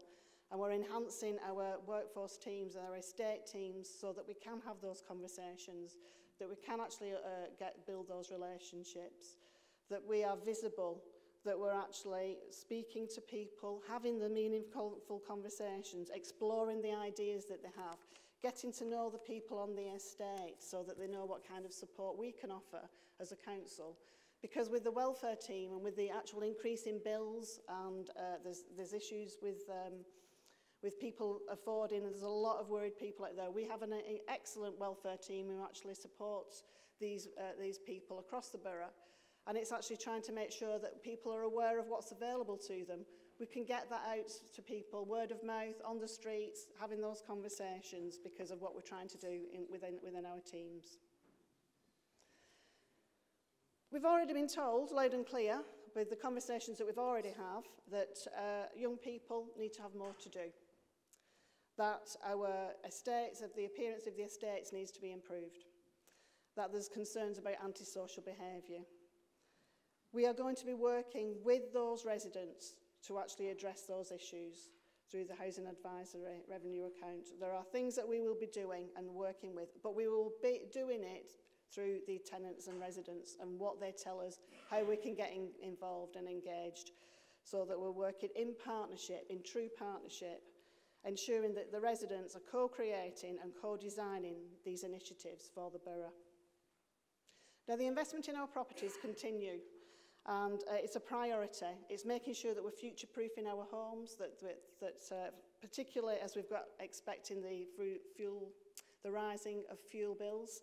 And my colleagues have mentioned in respect of the green agenda, we're looking at that to make sure that the homes are, uh, as I said, future-proofed. And the, uh, there's, we're making sure that we're ad giving uh, advice and, and welfare support to a number of our residents. Our repair service, I think a number of, uh, house, of uh, households received a letter to explain why there was uh, a backlog.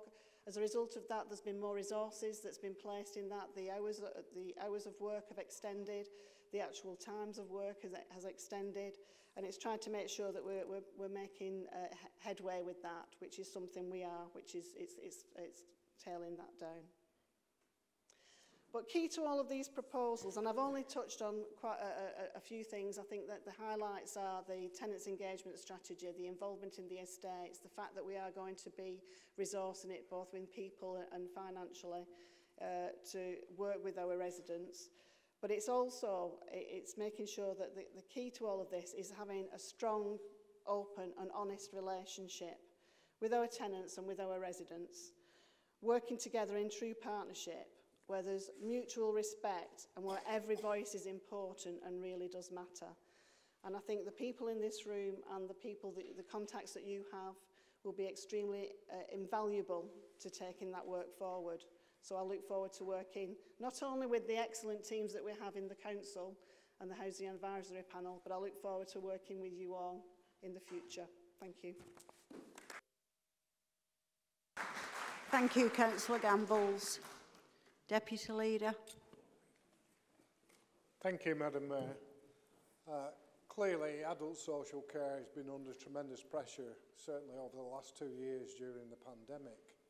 Um, and it's also been under pressure for the last 10, 12 years with austerity and uh, taking a significant amount of council spend to address. And uh, uh, Councillor Raymond indicated that, you know, social care, adult social care needed about 3 million, over 3 million pound a year spending on it, purely to deal with demand in the system caused by you know, an ageing population and, and actually the real pressure on adult social care budgets is for adults of working age. And so generally, you know, and people will know from national press and, uh, um, and details that have come out over TV of the pressures in social care, which, uh, I mean, Boris Johnson said he was going to solve the problem of social care. So we're getting a national insurance rise later this year. But there's very little to nothing coming to social care. And there's an intention that local authorities will raise council tax to meet that, which is why we're levying that 1%, which we're allowed to, to levy. But you have to bear in mind that that brings us about 1.1 million when your demands on the system are over 3 million. And bear in mind that because of the low council tax base here, because 85, about 85% of our houses in band A, B, C or D, compared to some of the southern county councils that have very expensive houses in band F, G and H. So 1% raises very little here. And yet the demand is probably greater here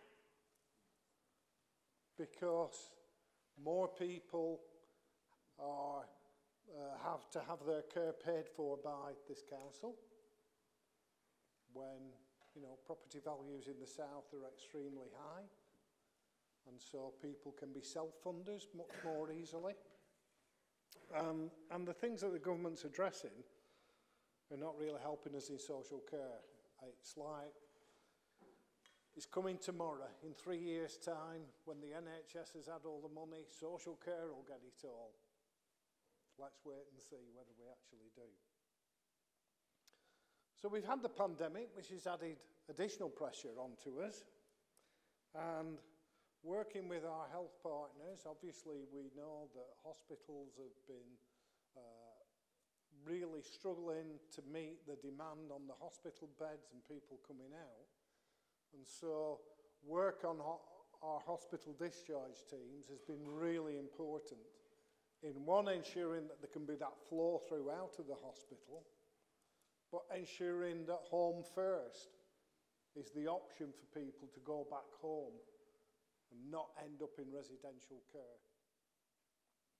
Because, of course, during the pandemic, according to the National Audit Office, 25,000 people were admitted to care homes without being tested for COVID.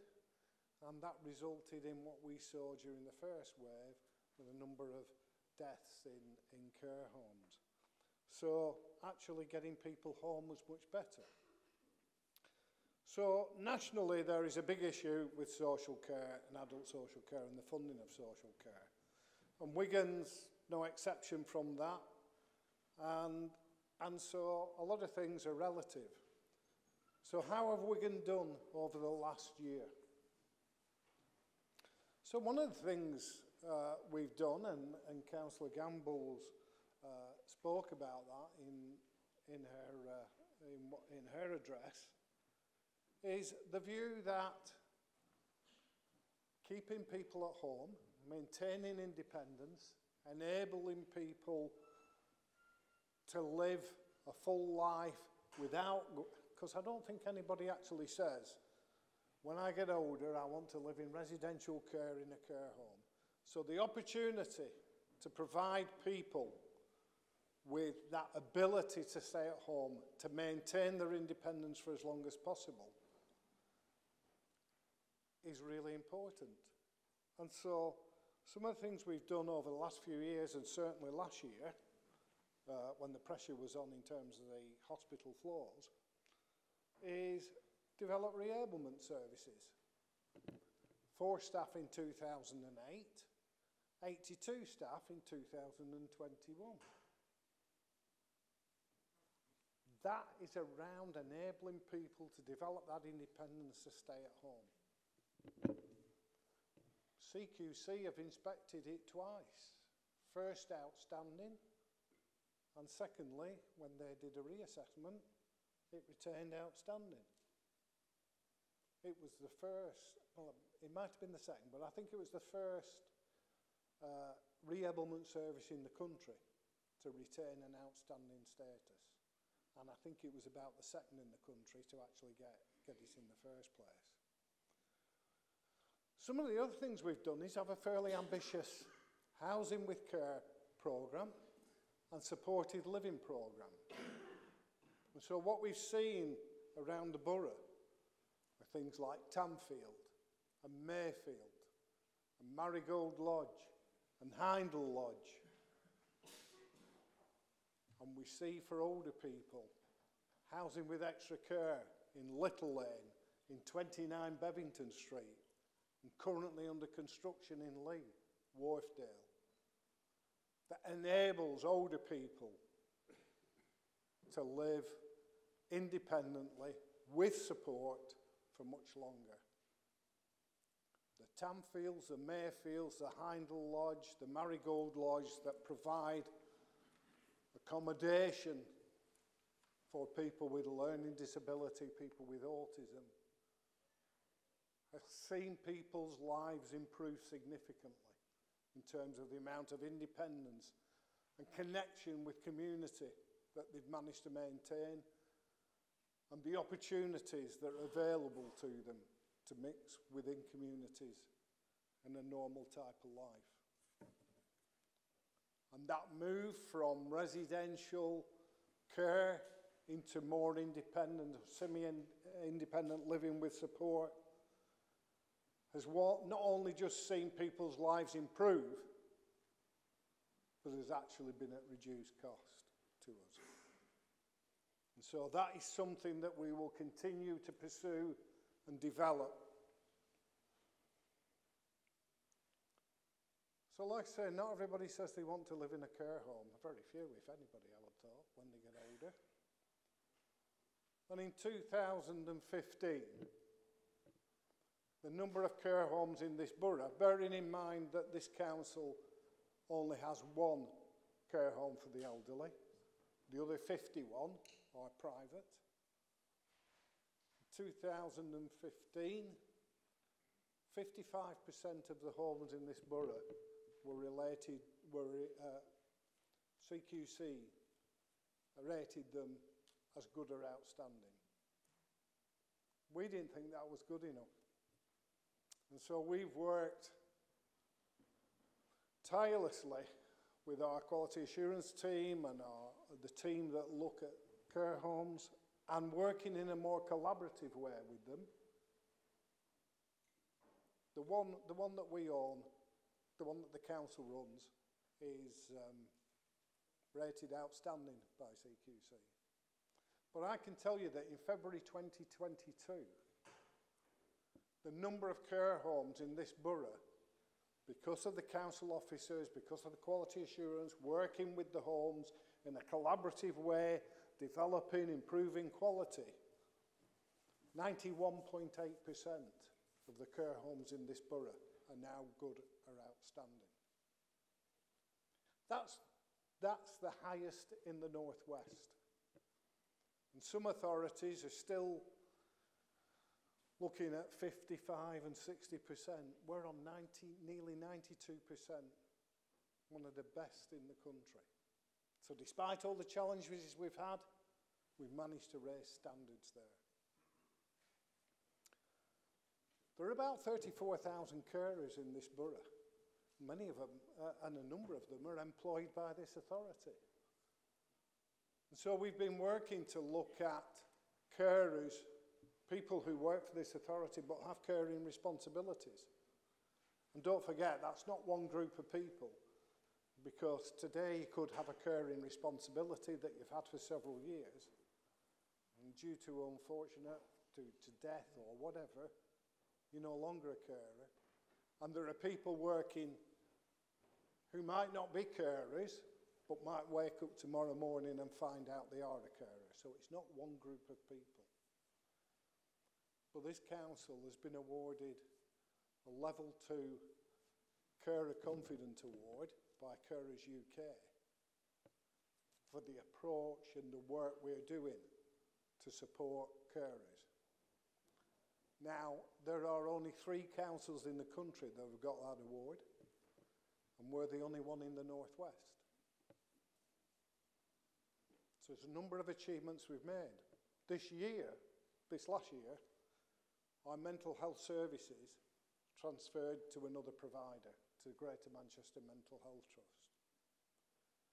And part of that transfer was to develop with the new provider, uh, Northwest Boroughs was the provider before, but that was taken over by Merseycare, which is why we went to Greater Manchester Mental Health, because being a Greater Manchester Authority seemed the most appropriate thing to do. But actually the service specification that we uh, did working in partnership with GMMH, working with GPs, working with all the services uh, across the borough, the NHS, GPs, voluntary sector, drew up a service specification that was called Transfer and Transform.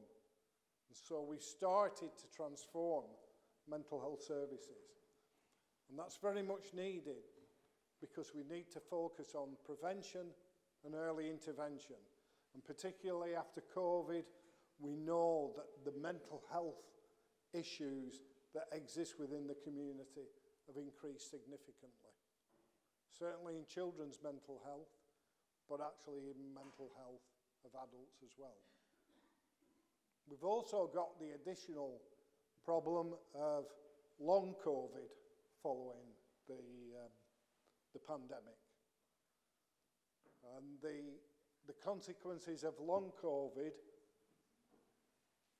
are going to be quite demanding on some of our services. So actually continuing that transformation of mental health services is really important. Several years ago, we developed an ethical framework for home care. One of the things about that was that we were able to rule out 15 minute visits. We were able to ensure staff got paid travel time. And actually, we actually created a situation where some of the bigger providers uh, exited the borough and home care was commissioned from a larger number of small, independent, locally based, family run firms. That gave us a great opportunity because he'd actually changed the culture of home care, which was a very competitive market, with companies being very competitive. But what we created was one of a collaborative approach. And during the pandemic, many authorities had a waiting list for home care because of the demands on home care with people coming out of hospital and the fact that the staff were either isolating with COVID or, or self-isolating because a member of the family had COVID.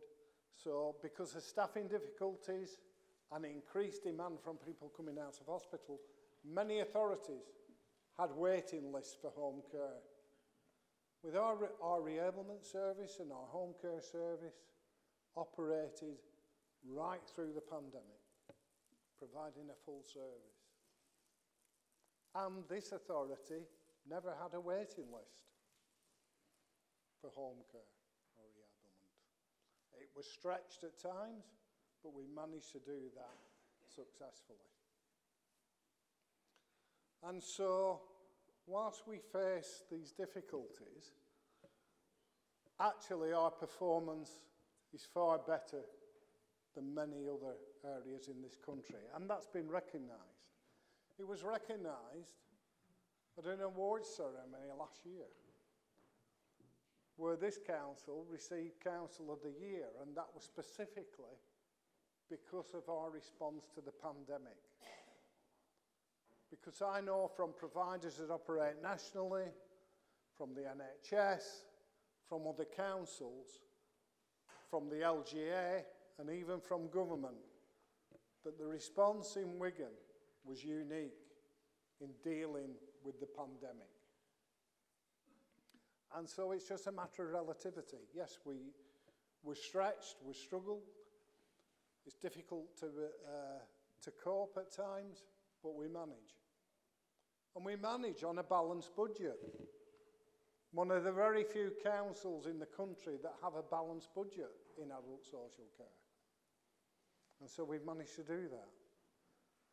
Now, in the coming year, we're going to face a number of challenges. Because two years into a pandemic, the government have decided to fundamentally bring out a big restructure of health and social care. So the clinical commissioning group, the Wigan Clinical Commissioning Group that we as a council have worked in partnership with, within the Healthier Wigan Partnership and develop that partnership working within our localities to provide services more locally within localities in an integrated way. the CCG will be abolished on the 1st of July. Well, the 30th of June. On the 1st of July, as with every other CCG in Greater Manchester, health and social care integration will be, uh, well, the social care will still come under the local authority, but there'll be an integra integrated care board for the whole of Greater Manchester. So fundamental, deep, uh, structural change in the health and care system towards the end of a pandemic that's created increased demands. There's less a huge backlog of elective care, which brings demands on adult social care in terms of providing uh, support for people at home who are waiting an operation or coming out from, with increased demand on mental health services, with increased demand on social care services, you know, it's probably not the right time to do that. But we'll manage, we'll manage. We will work collaboratively and in partnership on a locality basis in the same way that we've been doing over the years. Of course, we face additional costs. So I doubt whether it's actually the 3 million that we need, it's probably more. Because don't forget, there's a 1.75% national insurance increase coming. Now that affects us, but it also affects all those providers that provide commission services or services that we have to pay for. So what we have is care homes who we pay, have to pay fees and services for have got 1.75% increased national insurance pay for their staff. They've got energy costs which are rocketing and we got inflation that's currently 5% and likely to be 6 or 7%. Even having done that, and with the difficulties we face and ensuring that we maintain a balanced budget, we will be giving all our care providers uh, a fee rise of 6.2% this year to meet with all the demands. But that is a, that is a cost on us as a council. So there's plenty of opportunities to move forward because we will do that within a balanced budget and that is clearly what Councillor Rehman set out and what we'll do. It's a period of tremendous uncertainty because there's no clarity. I don't even think that the health and care bill has been approved by uh, government yet, so we're not even sure just exactly what and how it will work. So that uncertainty and that challenge is a real issue. But we'll get through it. And like I say, over the last few years, the relationships and the partnerships we have built with the NHS, with primary care, with the council, with all the organisations that operate in this borough has been tremendous and that will continue and carry us through. One of the big things during the pandemic was the fact that staff in social care, and don't forget this council, within a week or two of the first lockdown, sourced PPE and supplied all our care services with PPE when the government was failing to do that to ensure that care workers in Wigan had adequate protection. We created the facility at the Mercure to deal with homelessness and those issues then. And we'll continue to do everything that's right. But all those care workers, many of whom are on national living wage, are low paid, quite a number on zero hours contracts. And what I'm formally committing this council to achieve is that every worker in this borough who works in social care will receive the foundation living wage as soon as possible. Now, clearly, with all the challenges and uncertainty that faces this year and financial challenge, probably not possible to do it in April because there's a lot of discussion that needs to be had. We need to talk to social care providers. We need to ensure that if we up the fees to enable them to pay foundation living wage, that they actually pay it. And how much that would cost us. So actually there's a, there's a programme to go through for the next 12, 12 months or so to sort out the cost, the arrangements with care providers, uh, how we're going to fund it, to ensure that we fund it in a financially sustainable ways. And I know a number of authorities are also committing to this, and in fact even doing it sooner. I question that because some of these authorities are actually using huge amounts of reserves to prop up the social care services. So, whilst I'm committing us to do it, we will do it in a financially responsible way. We will negotiate it with care providers. We will ensure it is paid. And I, I'm fairly confident by this time next year, we'll be announcing the fact that every care worker in this borough will get foundation living wage. And that's a commitment for now and ongoing. So thank you, Madam Mayor. Thank you, Councillor Cunliffe. Councillor Brealey, have you got a point of order you wish to raise? It's 10 past 8 now. Are we, are we taking it till 9 o'clock or are we taking it further? Because it seems to be dragging on this. There's three more cabinet members. Are they going to speak? I'm sorry, Councillor Brealey, I wouldn't call it dragging on. I think they're very important reports that we'd like to listen to. But as you do know, for the budget meeting, there isn't a time set for each cabinet member to speak. So we are nearly at an end. I'm sorry if it's getting you down a bit, but can you just persevere just a little bit longer if you don't mind? Your residents need to hear all this information as a ward councillor, as mine do. So I'm very interested to listen to it. So we're nearly at an end now, Councillor Breela. Thank you. Down It's just dragging on. You know, they should have a minimum time. We're, we're all here as councillors. We all want to get on with the budget. We all want to listen to figures. But that then was like 40 minutes of whatever. Well, as sorry, I said, Madam we're nearly there now. Thank you, Councillor Breela. Are these recommendations seconded? Councillor Raymond, would you like to speak now or reserve your right to speak until later in the debate? Thank you. Amendment 1. We have received an amendment to the leader's motion prior to the deadline yesterday from Councillor Brealey, which has been seconded by Councillor Gerard. Mr McKevitt, is this a balanced budget? Uh, no, Madam Mayor, this doesn't uh, give us a balanced budget if we vote on this amendment. Thank you, Mr McKevitt. As this amendment does not lead to a balanced budget, we will now move to the second amendment. We have received a second amendment to the leader's motion prior to the deadline yesterday from Councillor Gerard, which has been seconded by Councillor Hodgkinson.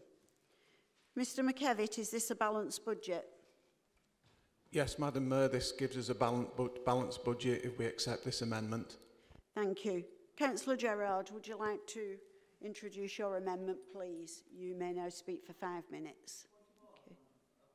Yes, Councillor Brealey? Uh, the, more, the amendment I put in there, he says it's, it's not leading to a balanced budget. I think you best go back to school. It's the money what's already in the account, which balances the budgets up. It's not extra money we're asking for, it's already in reserves. I think it's a bit harassment that. I mean, a bit, bit insulting towards an elected councillor. I've run my own business for 30 years. I know what I'm doing. Councillor Brealey, shall we ask Mr McKevitt to actually come in and explain why it's not a balanced oh, budget? Oh, yeah, I welcome that. Yeah. I welcome that. Thank and we can explain where all the money goes.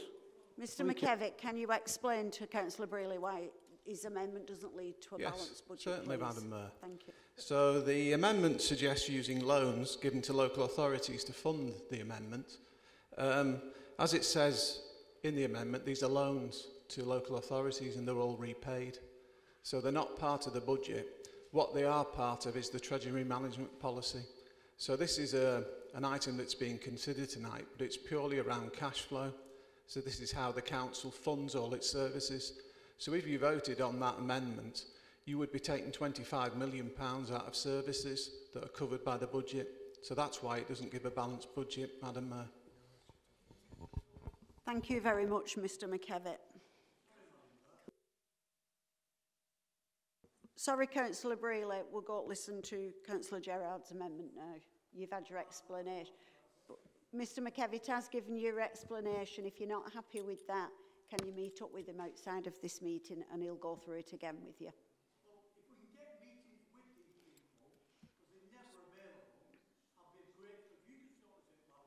Right. Can we move on now to Councillor Gerard's amendment, please? Thank you. Uh, thank you, Madam Mayor, and thank you, Paul, for confirming this is a balanced amendment. Uh, my first one, I, I'm hoping you can take them all as individual amendments rather than just all carte blanche. The first one is for an Atherton Parklife leisure facility. The wording is, I propose that subject to a business case, confirming that there is no impact on the revenue budget to set aside £2 million from the capital programme. This could be found through a mixture of carrying forward underspends on various capital programme schemes and the use of some reserves. Now, it's been touched on by quite a few of the Cabinet members today how important it is to actually engage with the, the youth of our, of our communities. Uh, as you know, we have had a Parklife scheme in Wigan, uh, in, Wigan Council, but uh, the two Parklife hubs are very close to one another. There's nothing really on the east side of the, the borough. And as you know, Atherton is quite, it has its issues, doesn't it? You know, like, like every other, other town, to engage with the youth. But uh, if we can engage, get a business case with the Parklife, with the FA, we could actually use some, some land there in Atherton to bring a facility which is much needed. So this isn't really just committing money out of the budget, it's just get have the business case there to see if it's viable. So I'm hoping that can be, uh, can be voted on. The second one, as you know, we've got the Queen's Jubilee celebration. And uh, I know Chris has uh, mentioned some kind of funding, which was announced 24 hours after we submitted our amendment. So thanks, Chris. But The original proposal was uh, that 250k, 250,000 is used from the reserves to fund a borough-wide celebration of the Queen's Jubilee. This can be divided equally per ward to help town centres enable us to commemorate this achievement. Now, our original thinking behind this was that we can have uh, in-town centres, street parties basically, where they not just bring people together, it will actually benefit businesses in the town centres or in the neighbourhoods where, near shops and what have you. But we'd also like to think that very generations to come, I don't think anybody's going to see another person for 70 years on the throne. And I think we should welcome that by, by commemorate, commemorate it in certain wards with either, not just parties, but some kind of monuments or plaques or, you know, in the areas and, and properly commemorate it. The second one is the 20 million development budget. And I know uh, Councillor Winstanley's got issues over this. But uh, I proposed not to get rid of the, uh, the plans or, you know, scrap it, but just to halt the plans of the M58 link road. For since 2017, the council have, have sat on 25 million pound just for this, this budget. That money, I think, could be put to better use. You know, we, we uh, want to encourage, basically, what Councillor Gamble said about house building. Now, very welcome, the £100 million for 770 houses. But you did mention that we've got a demand for one and two bedroom abodes, be it flats or bungalows or what have you. And I think that money there, that 20 million, could be put to better use on, onto that, as well as the family homes. And the fourth one, uh, I've gone through all the fine sections, so I'm, I'm, I'm quite uh,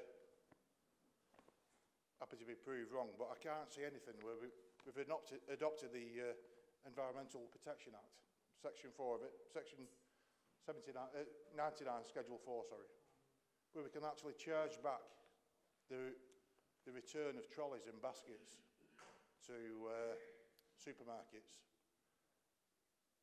But now I've contacted officers before in the past. It's not really been a problem, but... Councillor Gerard, you've only got 30 seconds left. That's all I need. Time. It's becoming a problem and uh, do I get 10 seconds extra? It's becoming a problem. And I think, but bringing this charge in, it would encourage supermarkets to actually put systems in place so these trolleys just can't be found in council estates, riverside parks, everywhere. So I'm hoping you can uh, approve that. Thank you. Thank you. Is the amendment seconded? Seconded, Madam Mayor. Councillor Hodgkinson, as a seconder, would you like to speak on the amendment? You um, have five minutes. No, it's okay. I think Councillor Gerard's covered everything. Okay, thank you. Leader, do you accept the amendment to your motion? Uh, actually not, Madam Mayor, but I'm quite happy to respond to Councillor Gerard. You have five minutes, Leader. Thank you very thank much, you. Madam Mayor. And thank you, thank you Councillor Gerard, for bringing your amendment forward tonight. But unfortunately, I, I can't accept it. Uh, firstly, on, on part life, actually, it's the Football Foundation Trust Hubs, I think, now. Uh, um, um, actually, they control that. I think it's took us five years to deliver what we've already got. So, really not in our gift, and I don't think there's any need to allocate £2 million pounds towards a, a foundation trust, not just in Atherton, but across the borough. So I think, I think that's one of the reasons I can't accept. It's not in our gift, it's in the Football Foundation, And certainly if they come forward uh, asking us for more proposals, we will certainly respond.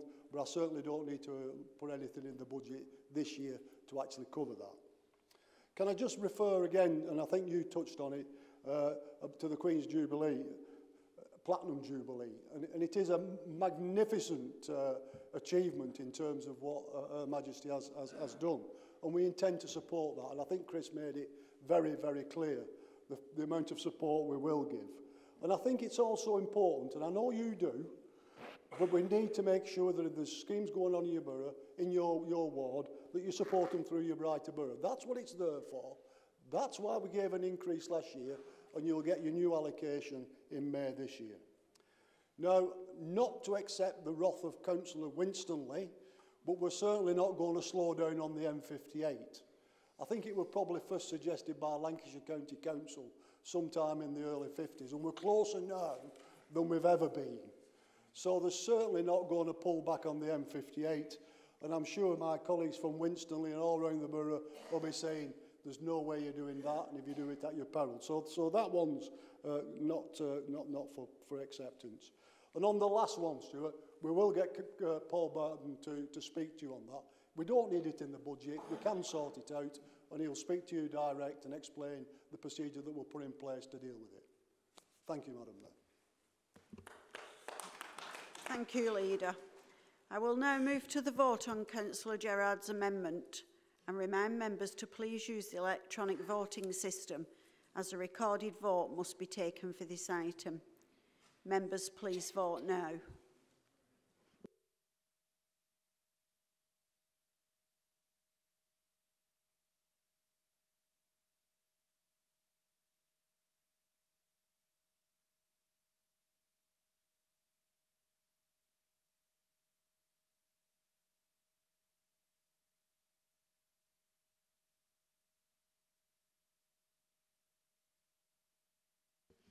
The amendment is lost.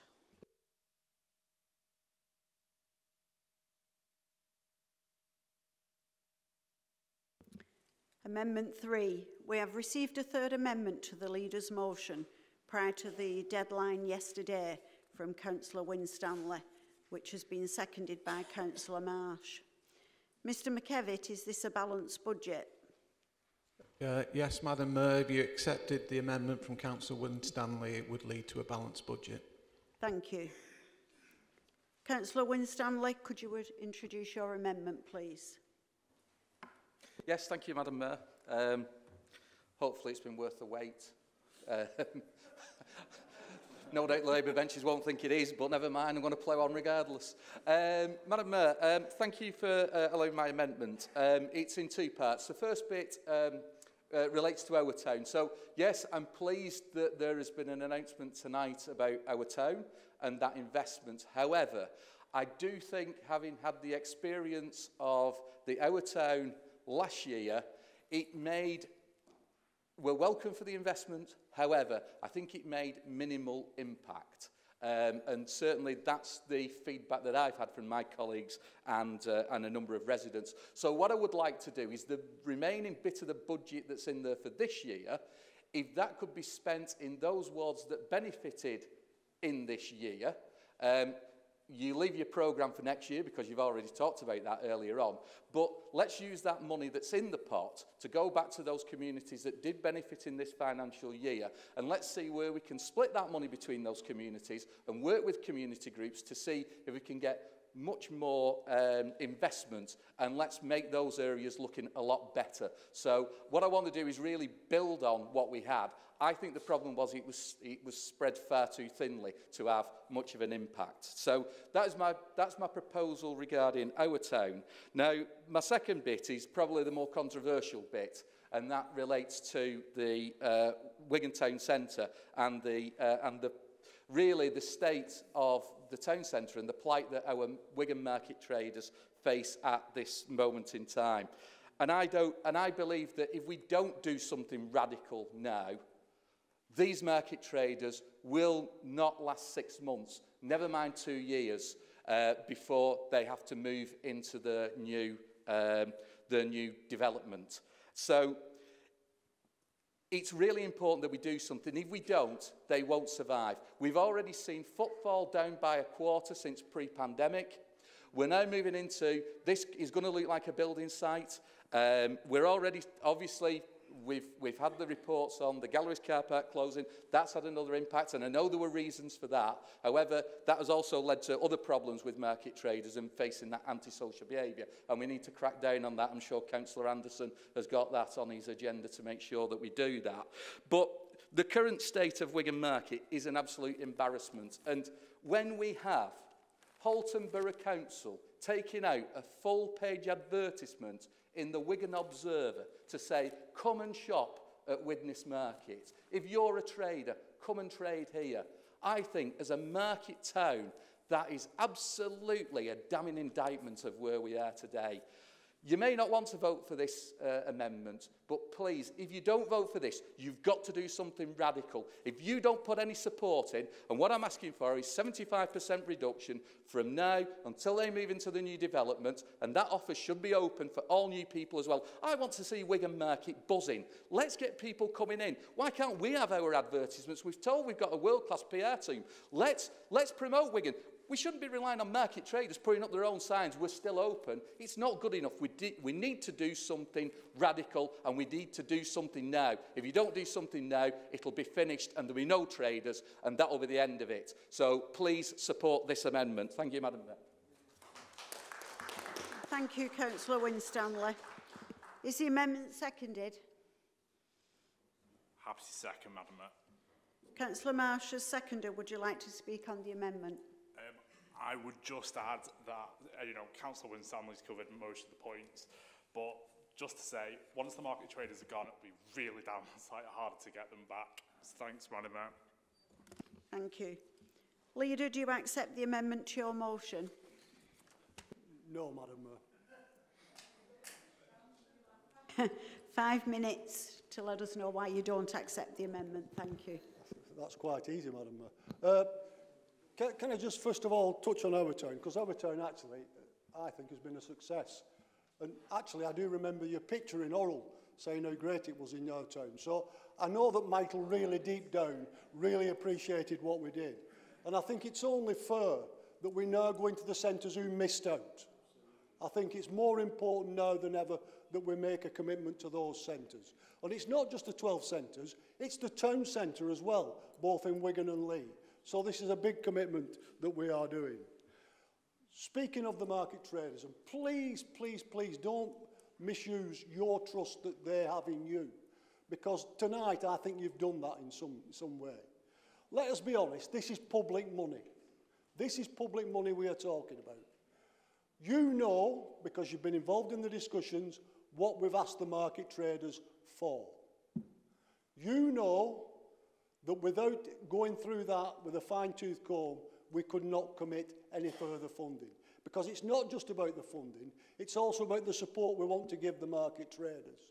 And the market traders are an important part of the town centre, and I have always acknowledged that. And I might even put an advertisement in the Halton Borough Times if that's what we need to do. But at the same time, please, you understand and your government understands, you just don't give public money away without actually going through the details and people actually responding to what we've asked for. And in fact, market traders have come forward with what we've already asked for. There's a numbers of market traders have already approached us, wanting to work with us and wanting to go through the process that we've outlined. We also want to put in there additional business support for market traders to, to, to speak to experienced business promoters, and that's what we want to do. Because it is important that it is a success. But at the same time, as you know, we've got to be accountable for public funds. I'm quite happy to meet with you and discuss that, but I think you already know what we've got to do is the right way of doing it. And all I can say, Madam Mayor, we want to make sure that we do have a town centre that people are proud of. And that is why we're making the investment we are making. It's so important to us as a borough, regardless of where you're from in this borough, that Wigan Town Centre thrives. And that is what we're planning to do, and that is what this council will give its support to. Thank you, Madam Mayor. Thank you, Leader. I will now move to the vote on Councillor Winstanley's amendment and remind members to please use the electronic voting system as a recorded vote must be No, sorry. Um, a recorded vote must be taken for this item. Members, please vote now.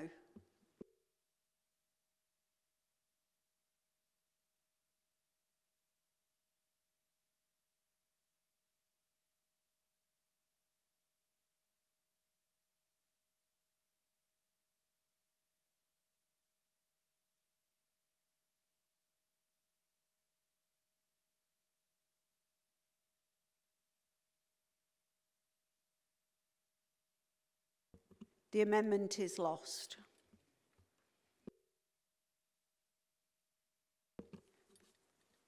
We are now back to the original motion. Do any members wish to speak on the leader's original motion? Councillor Brealey. Thank you, Madam Mayor. Um, yeah, this budget is um, it's unbelievable, actually. I mean, I've just heard uh, Councillor Molyneux say accountable public funding has got to be accountable. All public funding has got to be accountable. Well, can you explain to me why public funding is being squandered on settlement agreements, telling people, sign this document, we'll pay you a lot of money, keep your mouth shut. What's going on behind closed doors? Councillor Brealey, can you speak on the budget? It's on, the budget. On, it's all about on, funding. on your It's all about public funding, Madam Mayor. No, we're on about the budget, now on your perception. No, we're on about, Thank you. they're on about public funding. And I'm asking you a simple question. I keep asking everybody. We've even got head of legal services telling lies. Said you don't exist. These sort of agreements don't exist. Well, I've got one, Councillor Molyneux. And it's getting very serious now. Councillor you're telling Brealey, people This not to question has actually been Wigan answered by Council. the auditors for you. Sorry? You've al- this question has already been answered by the auditors. No, they've not. You've already... No, haven't, they've sir. not, Madam Mayor. No, Can I- can not. Councillor Please Brealey, this I've got a letter from legal services. They don't exist. I have got one. I have got a document. Councillor. Brealey, we have had this discussion at audit where you've had your answer. You've written to the auditors, you've had an answer from them, you've had an answer from the I'll finance take it officer. to the bloody government now, Michael. It isn't a relevant I'll be issue to bring contacting before the this government, I'll be taking it to them. Public money being squandered all the time. Can I It's a vote that. Councillor Brealey is not heard? An Thank you. telling lies. You can tell me not to be heard. I'm not bothered anymore. Councillor Brealey, can you sit down, please? No, I'm not. No, I'm not. I've got a right to speak. I'm a councillor. We're talking about public funding here. We're not talking about money what's not being accountable. I mean, hundreds of thousands of pounds being thrown away. It's a disgrace, this council. And you need Councillor to be, you Brealey, need to be I'll ask you one final time to on. please and I sit bet down you don't even know what goes on won't be behind heard. doors.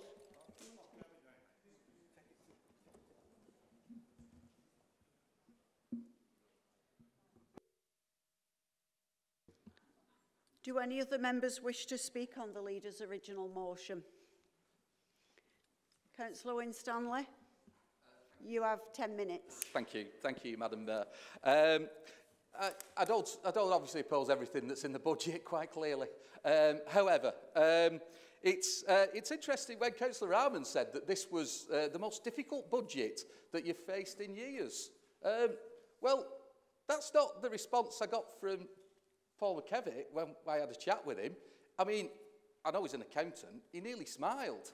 I mean, he did say it was, it was the best settlement that we've had since 2008. And I know there's many experienced members on that side that will know what 2008 means. And 2008 means that when we had a Labour government, and we still had it for two years. But that was, and then we got the, and then we got the infamous note from Liam Byrne to say, sorry, there's no money.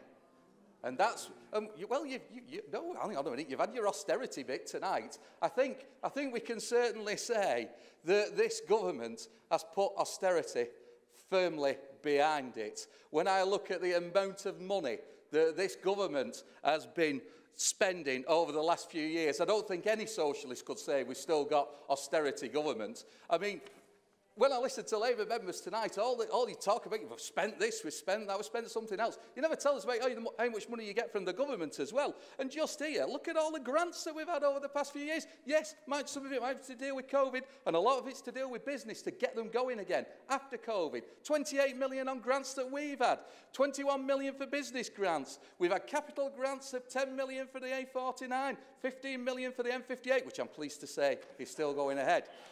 So the fact of the matter is we are getting money from this government. So, and we've also got the new homes bonus money as well, the three million which has gone into children's services this year to help prop that up and to sort those problems out. And that's welcome and we need to, and we do need to sort that out. So it's therefore disappointing that the council this year will be uh, increasing council tax.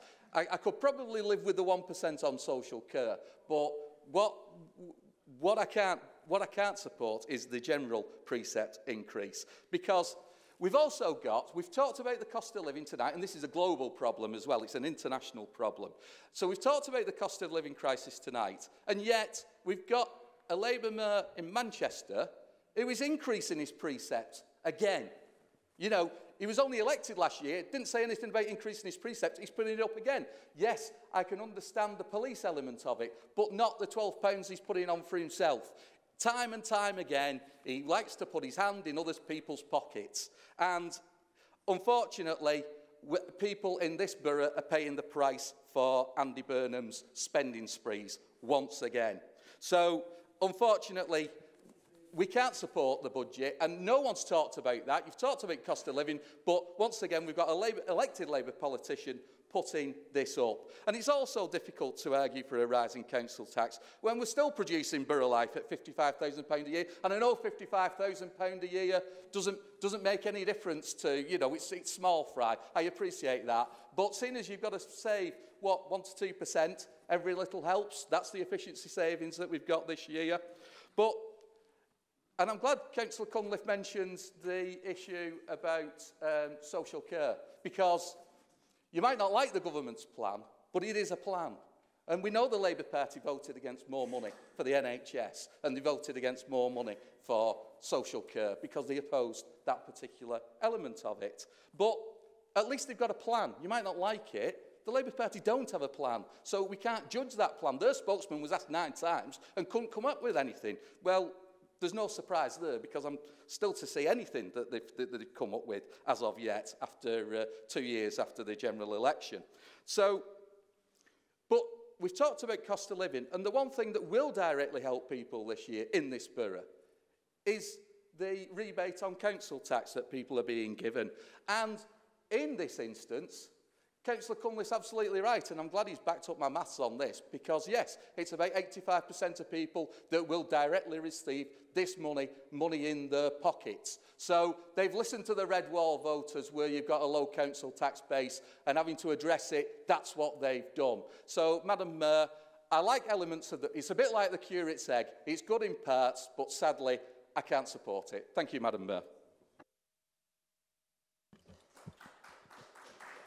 Councillor Gerrard. Uh, thank you, Madam Mayor. Yep, as uh, Councillor Winstanley says, we do welcome parts of the, uh, the budget tonight. Just to picking up a few points what the cabinet, cabinet members said tonight, namely uh, trees. I don't think we've nowhere near met our target for the uh, million trees. In fact, we're chopping them down in places and putting up clean air zone signs. So uh, I think that needs to be addressed immediately. Uh, the Our Town scheme, fantastic. As you know, we, we pushed for something similar with our motions back in 2018. But we should never get into a stage again where we have to spend so much money for general upkeep of our town centres and estates. I'm glad to see other districts being targeted But we can't forget about the ones that we've done last year and let them fall into disarray again. We've got to have a baseline of general maintenance in our town centres so they can stay at that level, just like you would do with your normal home. You repair it as you see it. Uh, the deal. Yeah, I mean, you touched on it, Chris, but how you implemented it and all this, but the real heroes with the deal are the volunteers who go out volunteering. And we've got to emphasise that even more than what we had. We, we, over the COVID period, we've let that slip a little bit with the deal and getting people looking after their own, own spaces, parks, green areas. So I think more emphasis on that again and getting community groups up and running again who might be scared to go back into the community helping out. But I think we really need to do that. Queen's Jubilee, yeah. Obviously, I, I didn't get my £250,000, but see what, what you come up with, Councillor Ready. Uh, Councillor Anderson, uh, antisocial behaviour. As you know, we've been trying to be quite tough on antisocial behaviour in our ward. Uh, but as probably every member in this, this room realises, the AS, ASB now is going on to serious crime. Knife, guns in, in some places, you know, it's really scary out there. And we've got to make our estates and street as safe as possible. By any means possible. We cannot see this get out of control and I really hope we can get, a lid on it. And I'm, I'm pleased to hear about the 98 extra officers. That that would be most welcome, especially in Atherton if, if, you, if you can. 10 if you can. so, uh, but we did touch on about accountability. You, this last week, the world's changed, I think is going to change forever with uh, what's happening in Ukraine. 134 million pound on the galleries, the, the building costs on that now, with everything going, go, go through the roof. We really need to look at, is that going to be viable over the next coming years? It's going to, the material costs alone is going to skyrocket. And we might find ourselves out of budget on that. Uh, and also, probably not going to like to hear this, but China has not said anything about the attacks on Ukraine. And it doesn't sit well with me, with the, the company that we're using with the galleries. So I would like to see that altered again. And let's see where we end up in, a, in six months' time with the galleries and just put a lid on it for the time being. Thank you, Madam. Thank you, Councillor Gerrard. Is there anyone else wishes to speak? Councillor Cunliffe, sorry. Thank you, couldn't resist.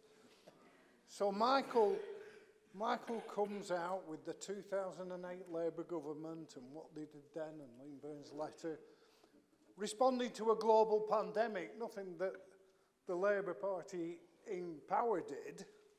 And if we want to go back in history, because we're now 14 years on from that, if we want to go back in history, after the Second World War, the Labour government of Clem Attlee created the National Health Service, built a million houses, and that's the type of Labour government we want to see. And as for your concern, your, what you say about um, the council tax, and you agree with the 1% for social care, even though it's inadequate and not enough, uh, and the fact that the council taxpayers are, we're going to have to pay that, but you're not happy with the 1.99%. Well, let's see how many Tory councils around the country levy the full element. Let's see how many. Let's see, how, let's see what Bolton do. Well, Tory Bolton, let's see what they do.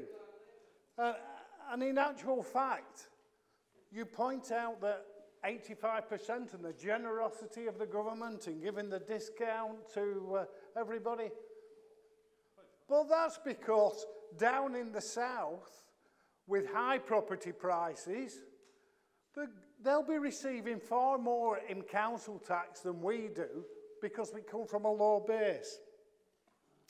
And I'm not sure whether you're quite deluded or, or, or, or putting forward, and I mean, I, I do come from a professional background, so I'd need to do some, I'd need to do some more assessment on that or, or whether you're just uh, whether you're just coming out with Tory central office uh, propaganda and lies. So the social care plan, it's not that I don't like it. It's that it won't address the issues in social care. And for people of this borough to have an £86,000 cap on your care costs, and remember, it's only your care costs, it's not the hotel costs, the, the food, the heating, the lighting, everything else that you have to pay for, the care costs. The average property price in this borough is about £165,000. So if you're a couple that are going to require care, you will hit the cap when your property value is wiped out. So this idea about having, uh, about Johnson saying, you know, we want to end people having to sell the property to pay for the care. In this borough, you're probably going to have to. If you live in a one million pound house in, in London or the home counties, and you hit the 86,000 cap, and your husband or wife hits the 86,000 cap, whoa, you've still got 840,000 property value. So this social care package is not a plan to address the issues in social care. It's about protecting the property values of the rich in this country, and that's what it's about. It's not about providing social care for people who need it in this town.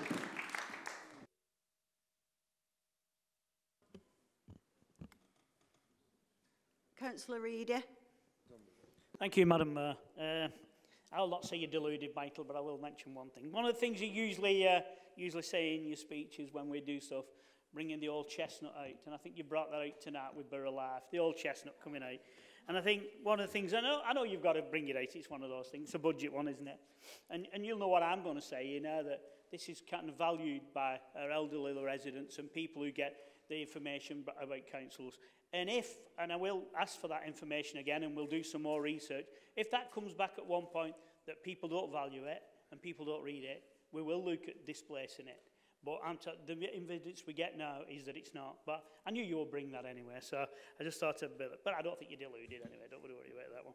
Uh, Stuart, uh, you're quite right. Uh, the world is changing and, and the volunteer sector is changing and we all get, have to get back if you like, to a, but there's been a lot of work done within COVID with our volunteers. And, you know, you look at our leisure staff, a lot of them were redeployed through the care sector and everything like that. So there's probably been more work going on. And when you said the kind of deal and let's get back to it, I think what we did within COVID was about the deal principles and everything that we did to back all that up. But you're quite right, we need to kind of get out there, and I've got all the community staff now and the tenant engagement, and Susan's working with them to kind of rebuild that, and there is a lot of rebuilding. The Jubilee, like you said, uh, we, we only got it on 24 hours on the back of but we clearly didn't because it was being worked behind the scenes. But uh, what I will say is it won't be the amount of money that you're looking for. Uh, but what I will do is give you a proposal tonight, which you might like, and you can discuss with your colleagues. We've been discussing for a long time the Atherton money and the criteria behind that, and it takes a lot of building. If you want, I can bring that to the next cabinet meeting and take £250,000 out of the Atherton money to distribute around the wards for our Jubilee Red celebration. So we can all have 10 grand of that money. So there is a proposition that you can take back to your colleagues. Thank you, Madam Mayor. Thank you, Councillor Ready. Councillor Brealey, you've already spoken on the original motion, so I'm sorry you can't speak now. I'm sorry, but... No, you, you spoke on the original motion. Well, I'm sorry, Councillor Brealey. You no, you can't do that. You know the rules, so please abide by them. You've already spoken on the original motion, so you can't speak again. Councillor Hunt, please. Thank you, Madam Mayor, for uh, allowing me to speak. Uh, it'll come no surprise to, to Councillor Lindsay that I'll be supporting the budget tonight. Uh, it's I'm not going to say it's, one of uh, the, the best or anything like that, but there is some really positive stuff in there. If you look at the stuff around no cuts and no redundancies, that's, uh, that's absolutely outstanding for me in terms of a council delivering that. You look at the commitment to apprentices again, and there's a lot of passion about that, getting young people into work. The police, the extra police, they'll, they'll certainly be welcome. And uh, the long overdue clean-ups, and one is uh, the town centre, so I'll be looking forward to that. And, and I don't swallow the stuff about the help that's been given in terms of what they've done because uh, of the energy prices. You don't have to look, if you want a proper example of what the government should be doing, just look to France, what they're doing. So it's, it's sort of half-hearted what the government's doing, and it's, it's way short of what's needed. But with the town centre, there's a lot of passion about the town centre and there's been a lot of controversy about the new development. And, and, I, and I was torn between the two, really, because I've brought up with the town like many people in this room. But we, the, the option to do, we, we can't just sit back and do nothing. We have to do something. And I know uh, Councillor Winston is passionate about the market and, and seeing its survival, and so do many of us in, in, in, this, in this room tonight. But uh, you, you want to have a think about that, about, uh, you know, your amendment tonight, I know I couldn't speak on it, but you, you basically, that was a wrecking amendment, 75%.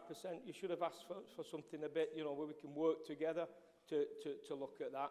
And, and as, as regards Halton Borough Council, all that tells me is they're struggling just the same as us. And they want market, they want people in their market. It doesn't say their market's any better than ours. But I can assure you, there, there's a lot of people in this room tonight that are as passionate about you are in terms of the survival of that market. But I will be supporting the budget tonight. Thank you, Madam Mayor. Thank you, Councillor Hunt. Councillor Prescott.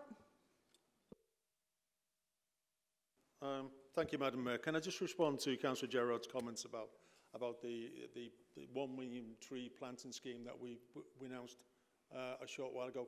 Can I just let you know that at this moment in time, the figures I have, uh, Councillor Gerrard, is we've planted 80,000 trees to date. That's in spite of the pandemic and the problems that caused staff were then needed for other areas of, uh, that were more important. And I will say this, that it, the scheme itself is based over a 10-year period.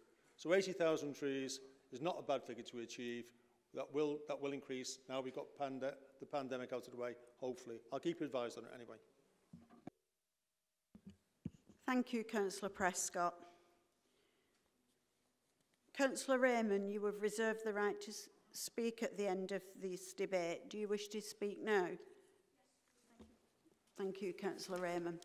Uh, thank you, Madam Mayor. So, Councillor Winstanley, you rightly quoted me saying that this was one of the hardest budgets we ever had to set. But only because we did it successfully and Paul was smiling when you talked to him. It doesn't mean that it wasn't difficult, it wasn't challenging, it just means we are bloody brilliant at what we do. you, you mentioned the support received from the government, which was welcome. However, it is less than a quarter of what they have already cut from our budgets, and these are only one-off grants. So thank you, but no thank you. Here we are expected to thank the government for giving back what they've already taken from us. And you are right. The government has injected a lot of cash, and I mean a lot of cash, in local councils. But I would say that front-loading councils upfront with upfront grants and opening the spillways of money as soon as the pandemic hit was an admission by your government that Northern Powerhouse didn't work, that a decade of austerity has failed communities, that levelling up, whatever that means, would not deliver. So thank you for your contribution, but I don't agree with you.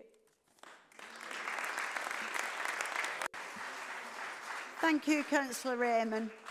Leader, do you wish to sum up on your motion? I most certainly do, Madam Mayor. Thank you. I think one thing that... I, I'm just going to carry on. I'm not sure whether he's going to make a lot of noise or not, but empty vessels normally do. But can I, can I, just, can I just say, can I just say, I just want to sum up. So I'm not, I'm not sure what you're going to do about Councillor Bailey's behaviour, but you, I thought we'd asked, do we not want him to be heard? And the we, answer to that is we yes. have leader. Thank you. Thank you. No, you haven't. Thank you. We've actually ruled that you're not being heard. Can you please be quiet, Councillor Brealey? Thank you, Madam Mayor. I think perhaps one thing I should have put in the budget was the cost of a spirit level. And I was going to send it to the Prime Minister because that's the only way he'll understand what levelling up is in terms of what we should do. Let us be honest, since 2010, this borough, in funding that we've not received, has lost £450 for every person in this borough. That's what we've lost. Levelling up probably gives us 30 quid a head. That is the difference. And when Michael earlier spoke on his amendment about public funding, he then comes into this part of the meeting, talks about the money the government have given to us and given to businesses. Well, I'll tell you, a lot of those businesses had to go through an eye of the needle to get the funding that they should have received. Very, very clearly. But yet we want to give away public funding without any credibility. All I can say, Madam Mayor, and what I will say to the opposition, if you vote against this budget tonight, you're voting against 100 apprentices, you're voting against 770 new social homes, You're, you're voting against your communities receiving a million pound from the Community Recovery Fund, education receiving less funding, social care receiving less funding if you don't support this budget. Don't pick and choose what you want to support.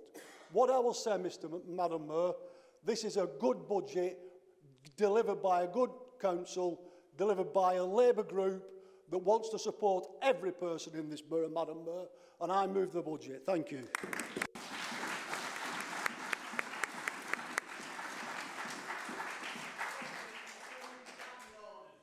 Councillor Brealey. Councillor Brealey. I've asked you, please keep within the rules. I will now move to the vote on the original motion and remind members to please use the electronic voting system as a recorded vote must be taken for this item. Members, please vote now.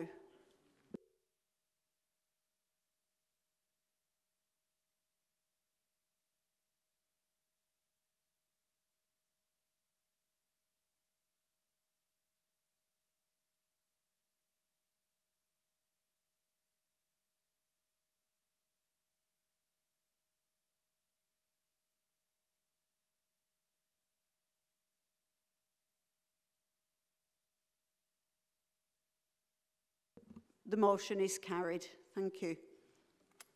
That concludes the business before us tonight. Thank you for your attendance and a safe journey home.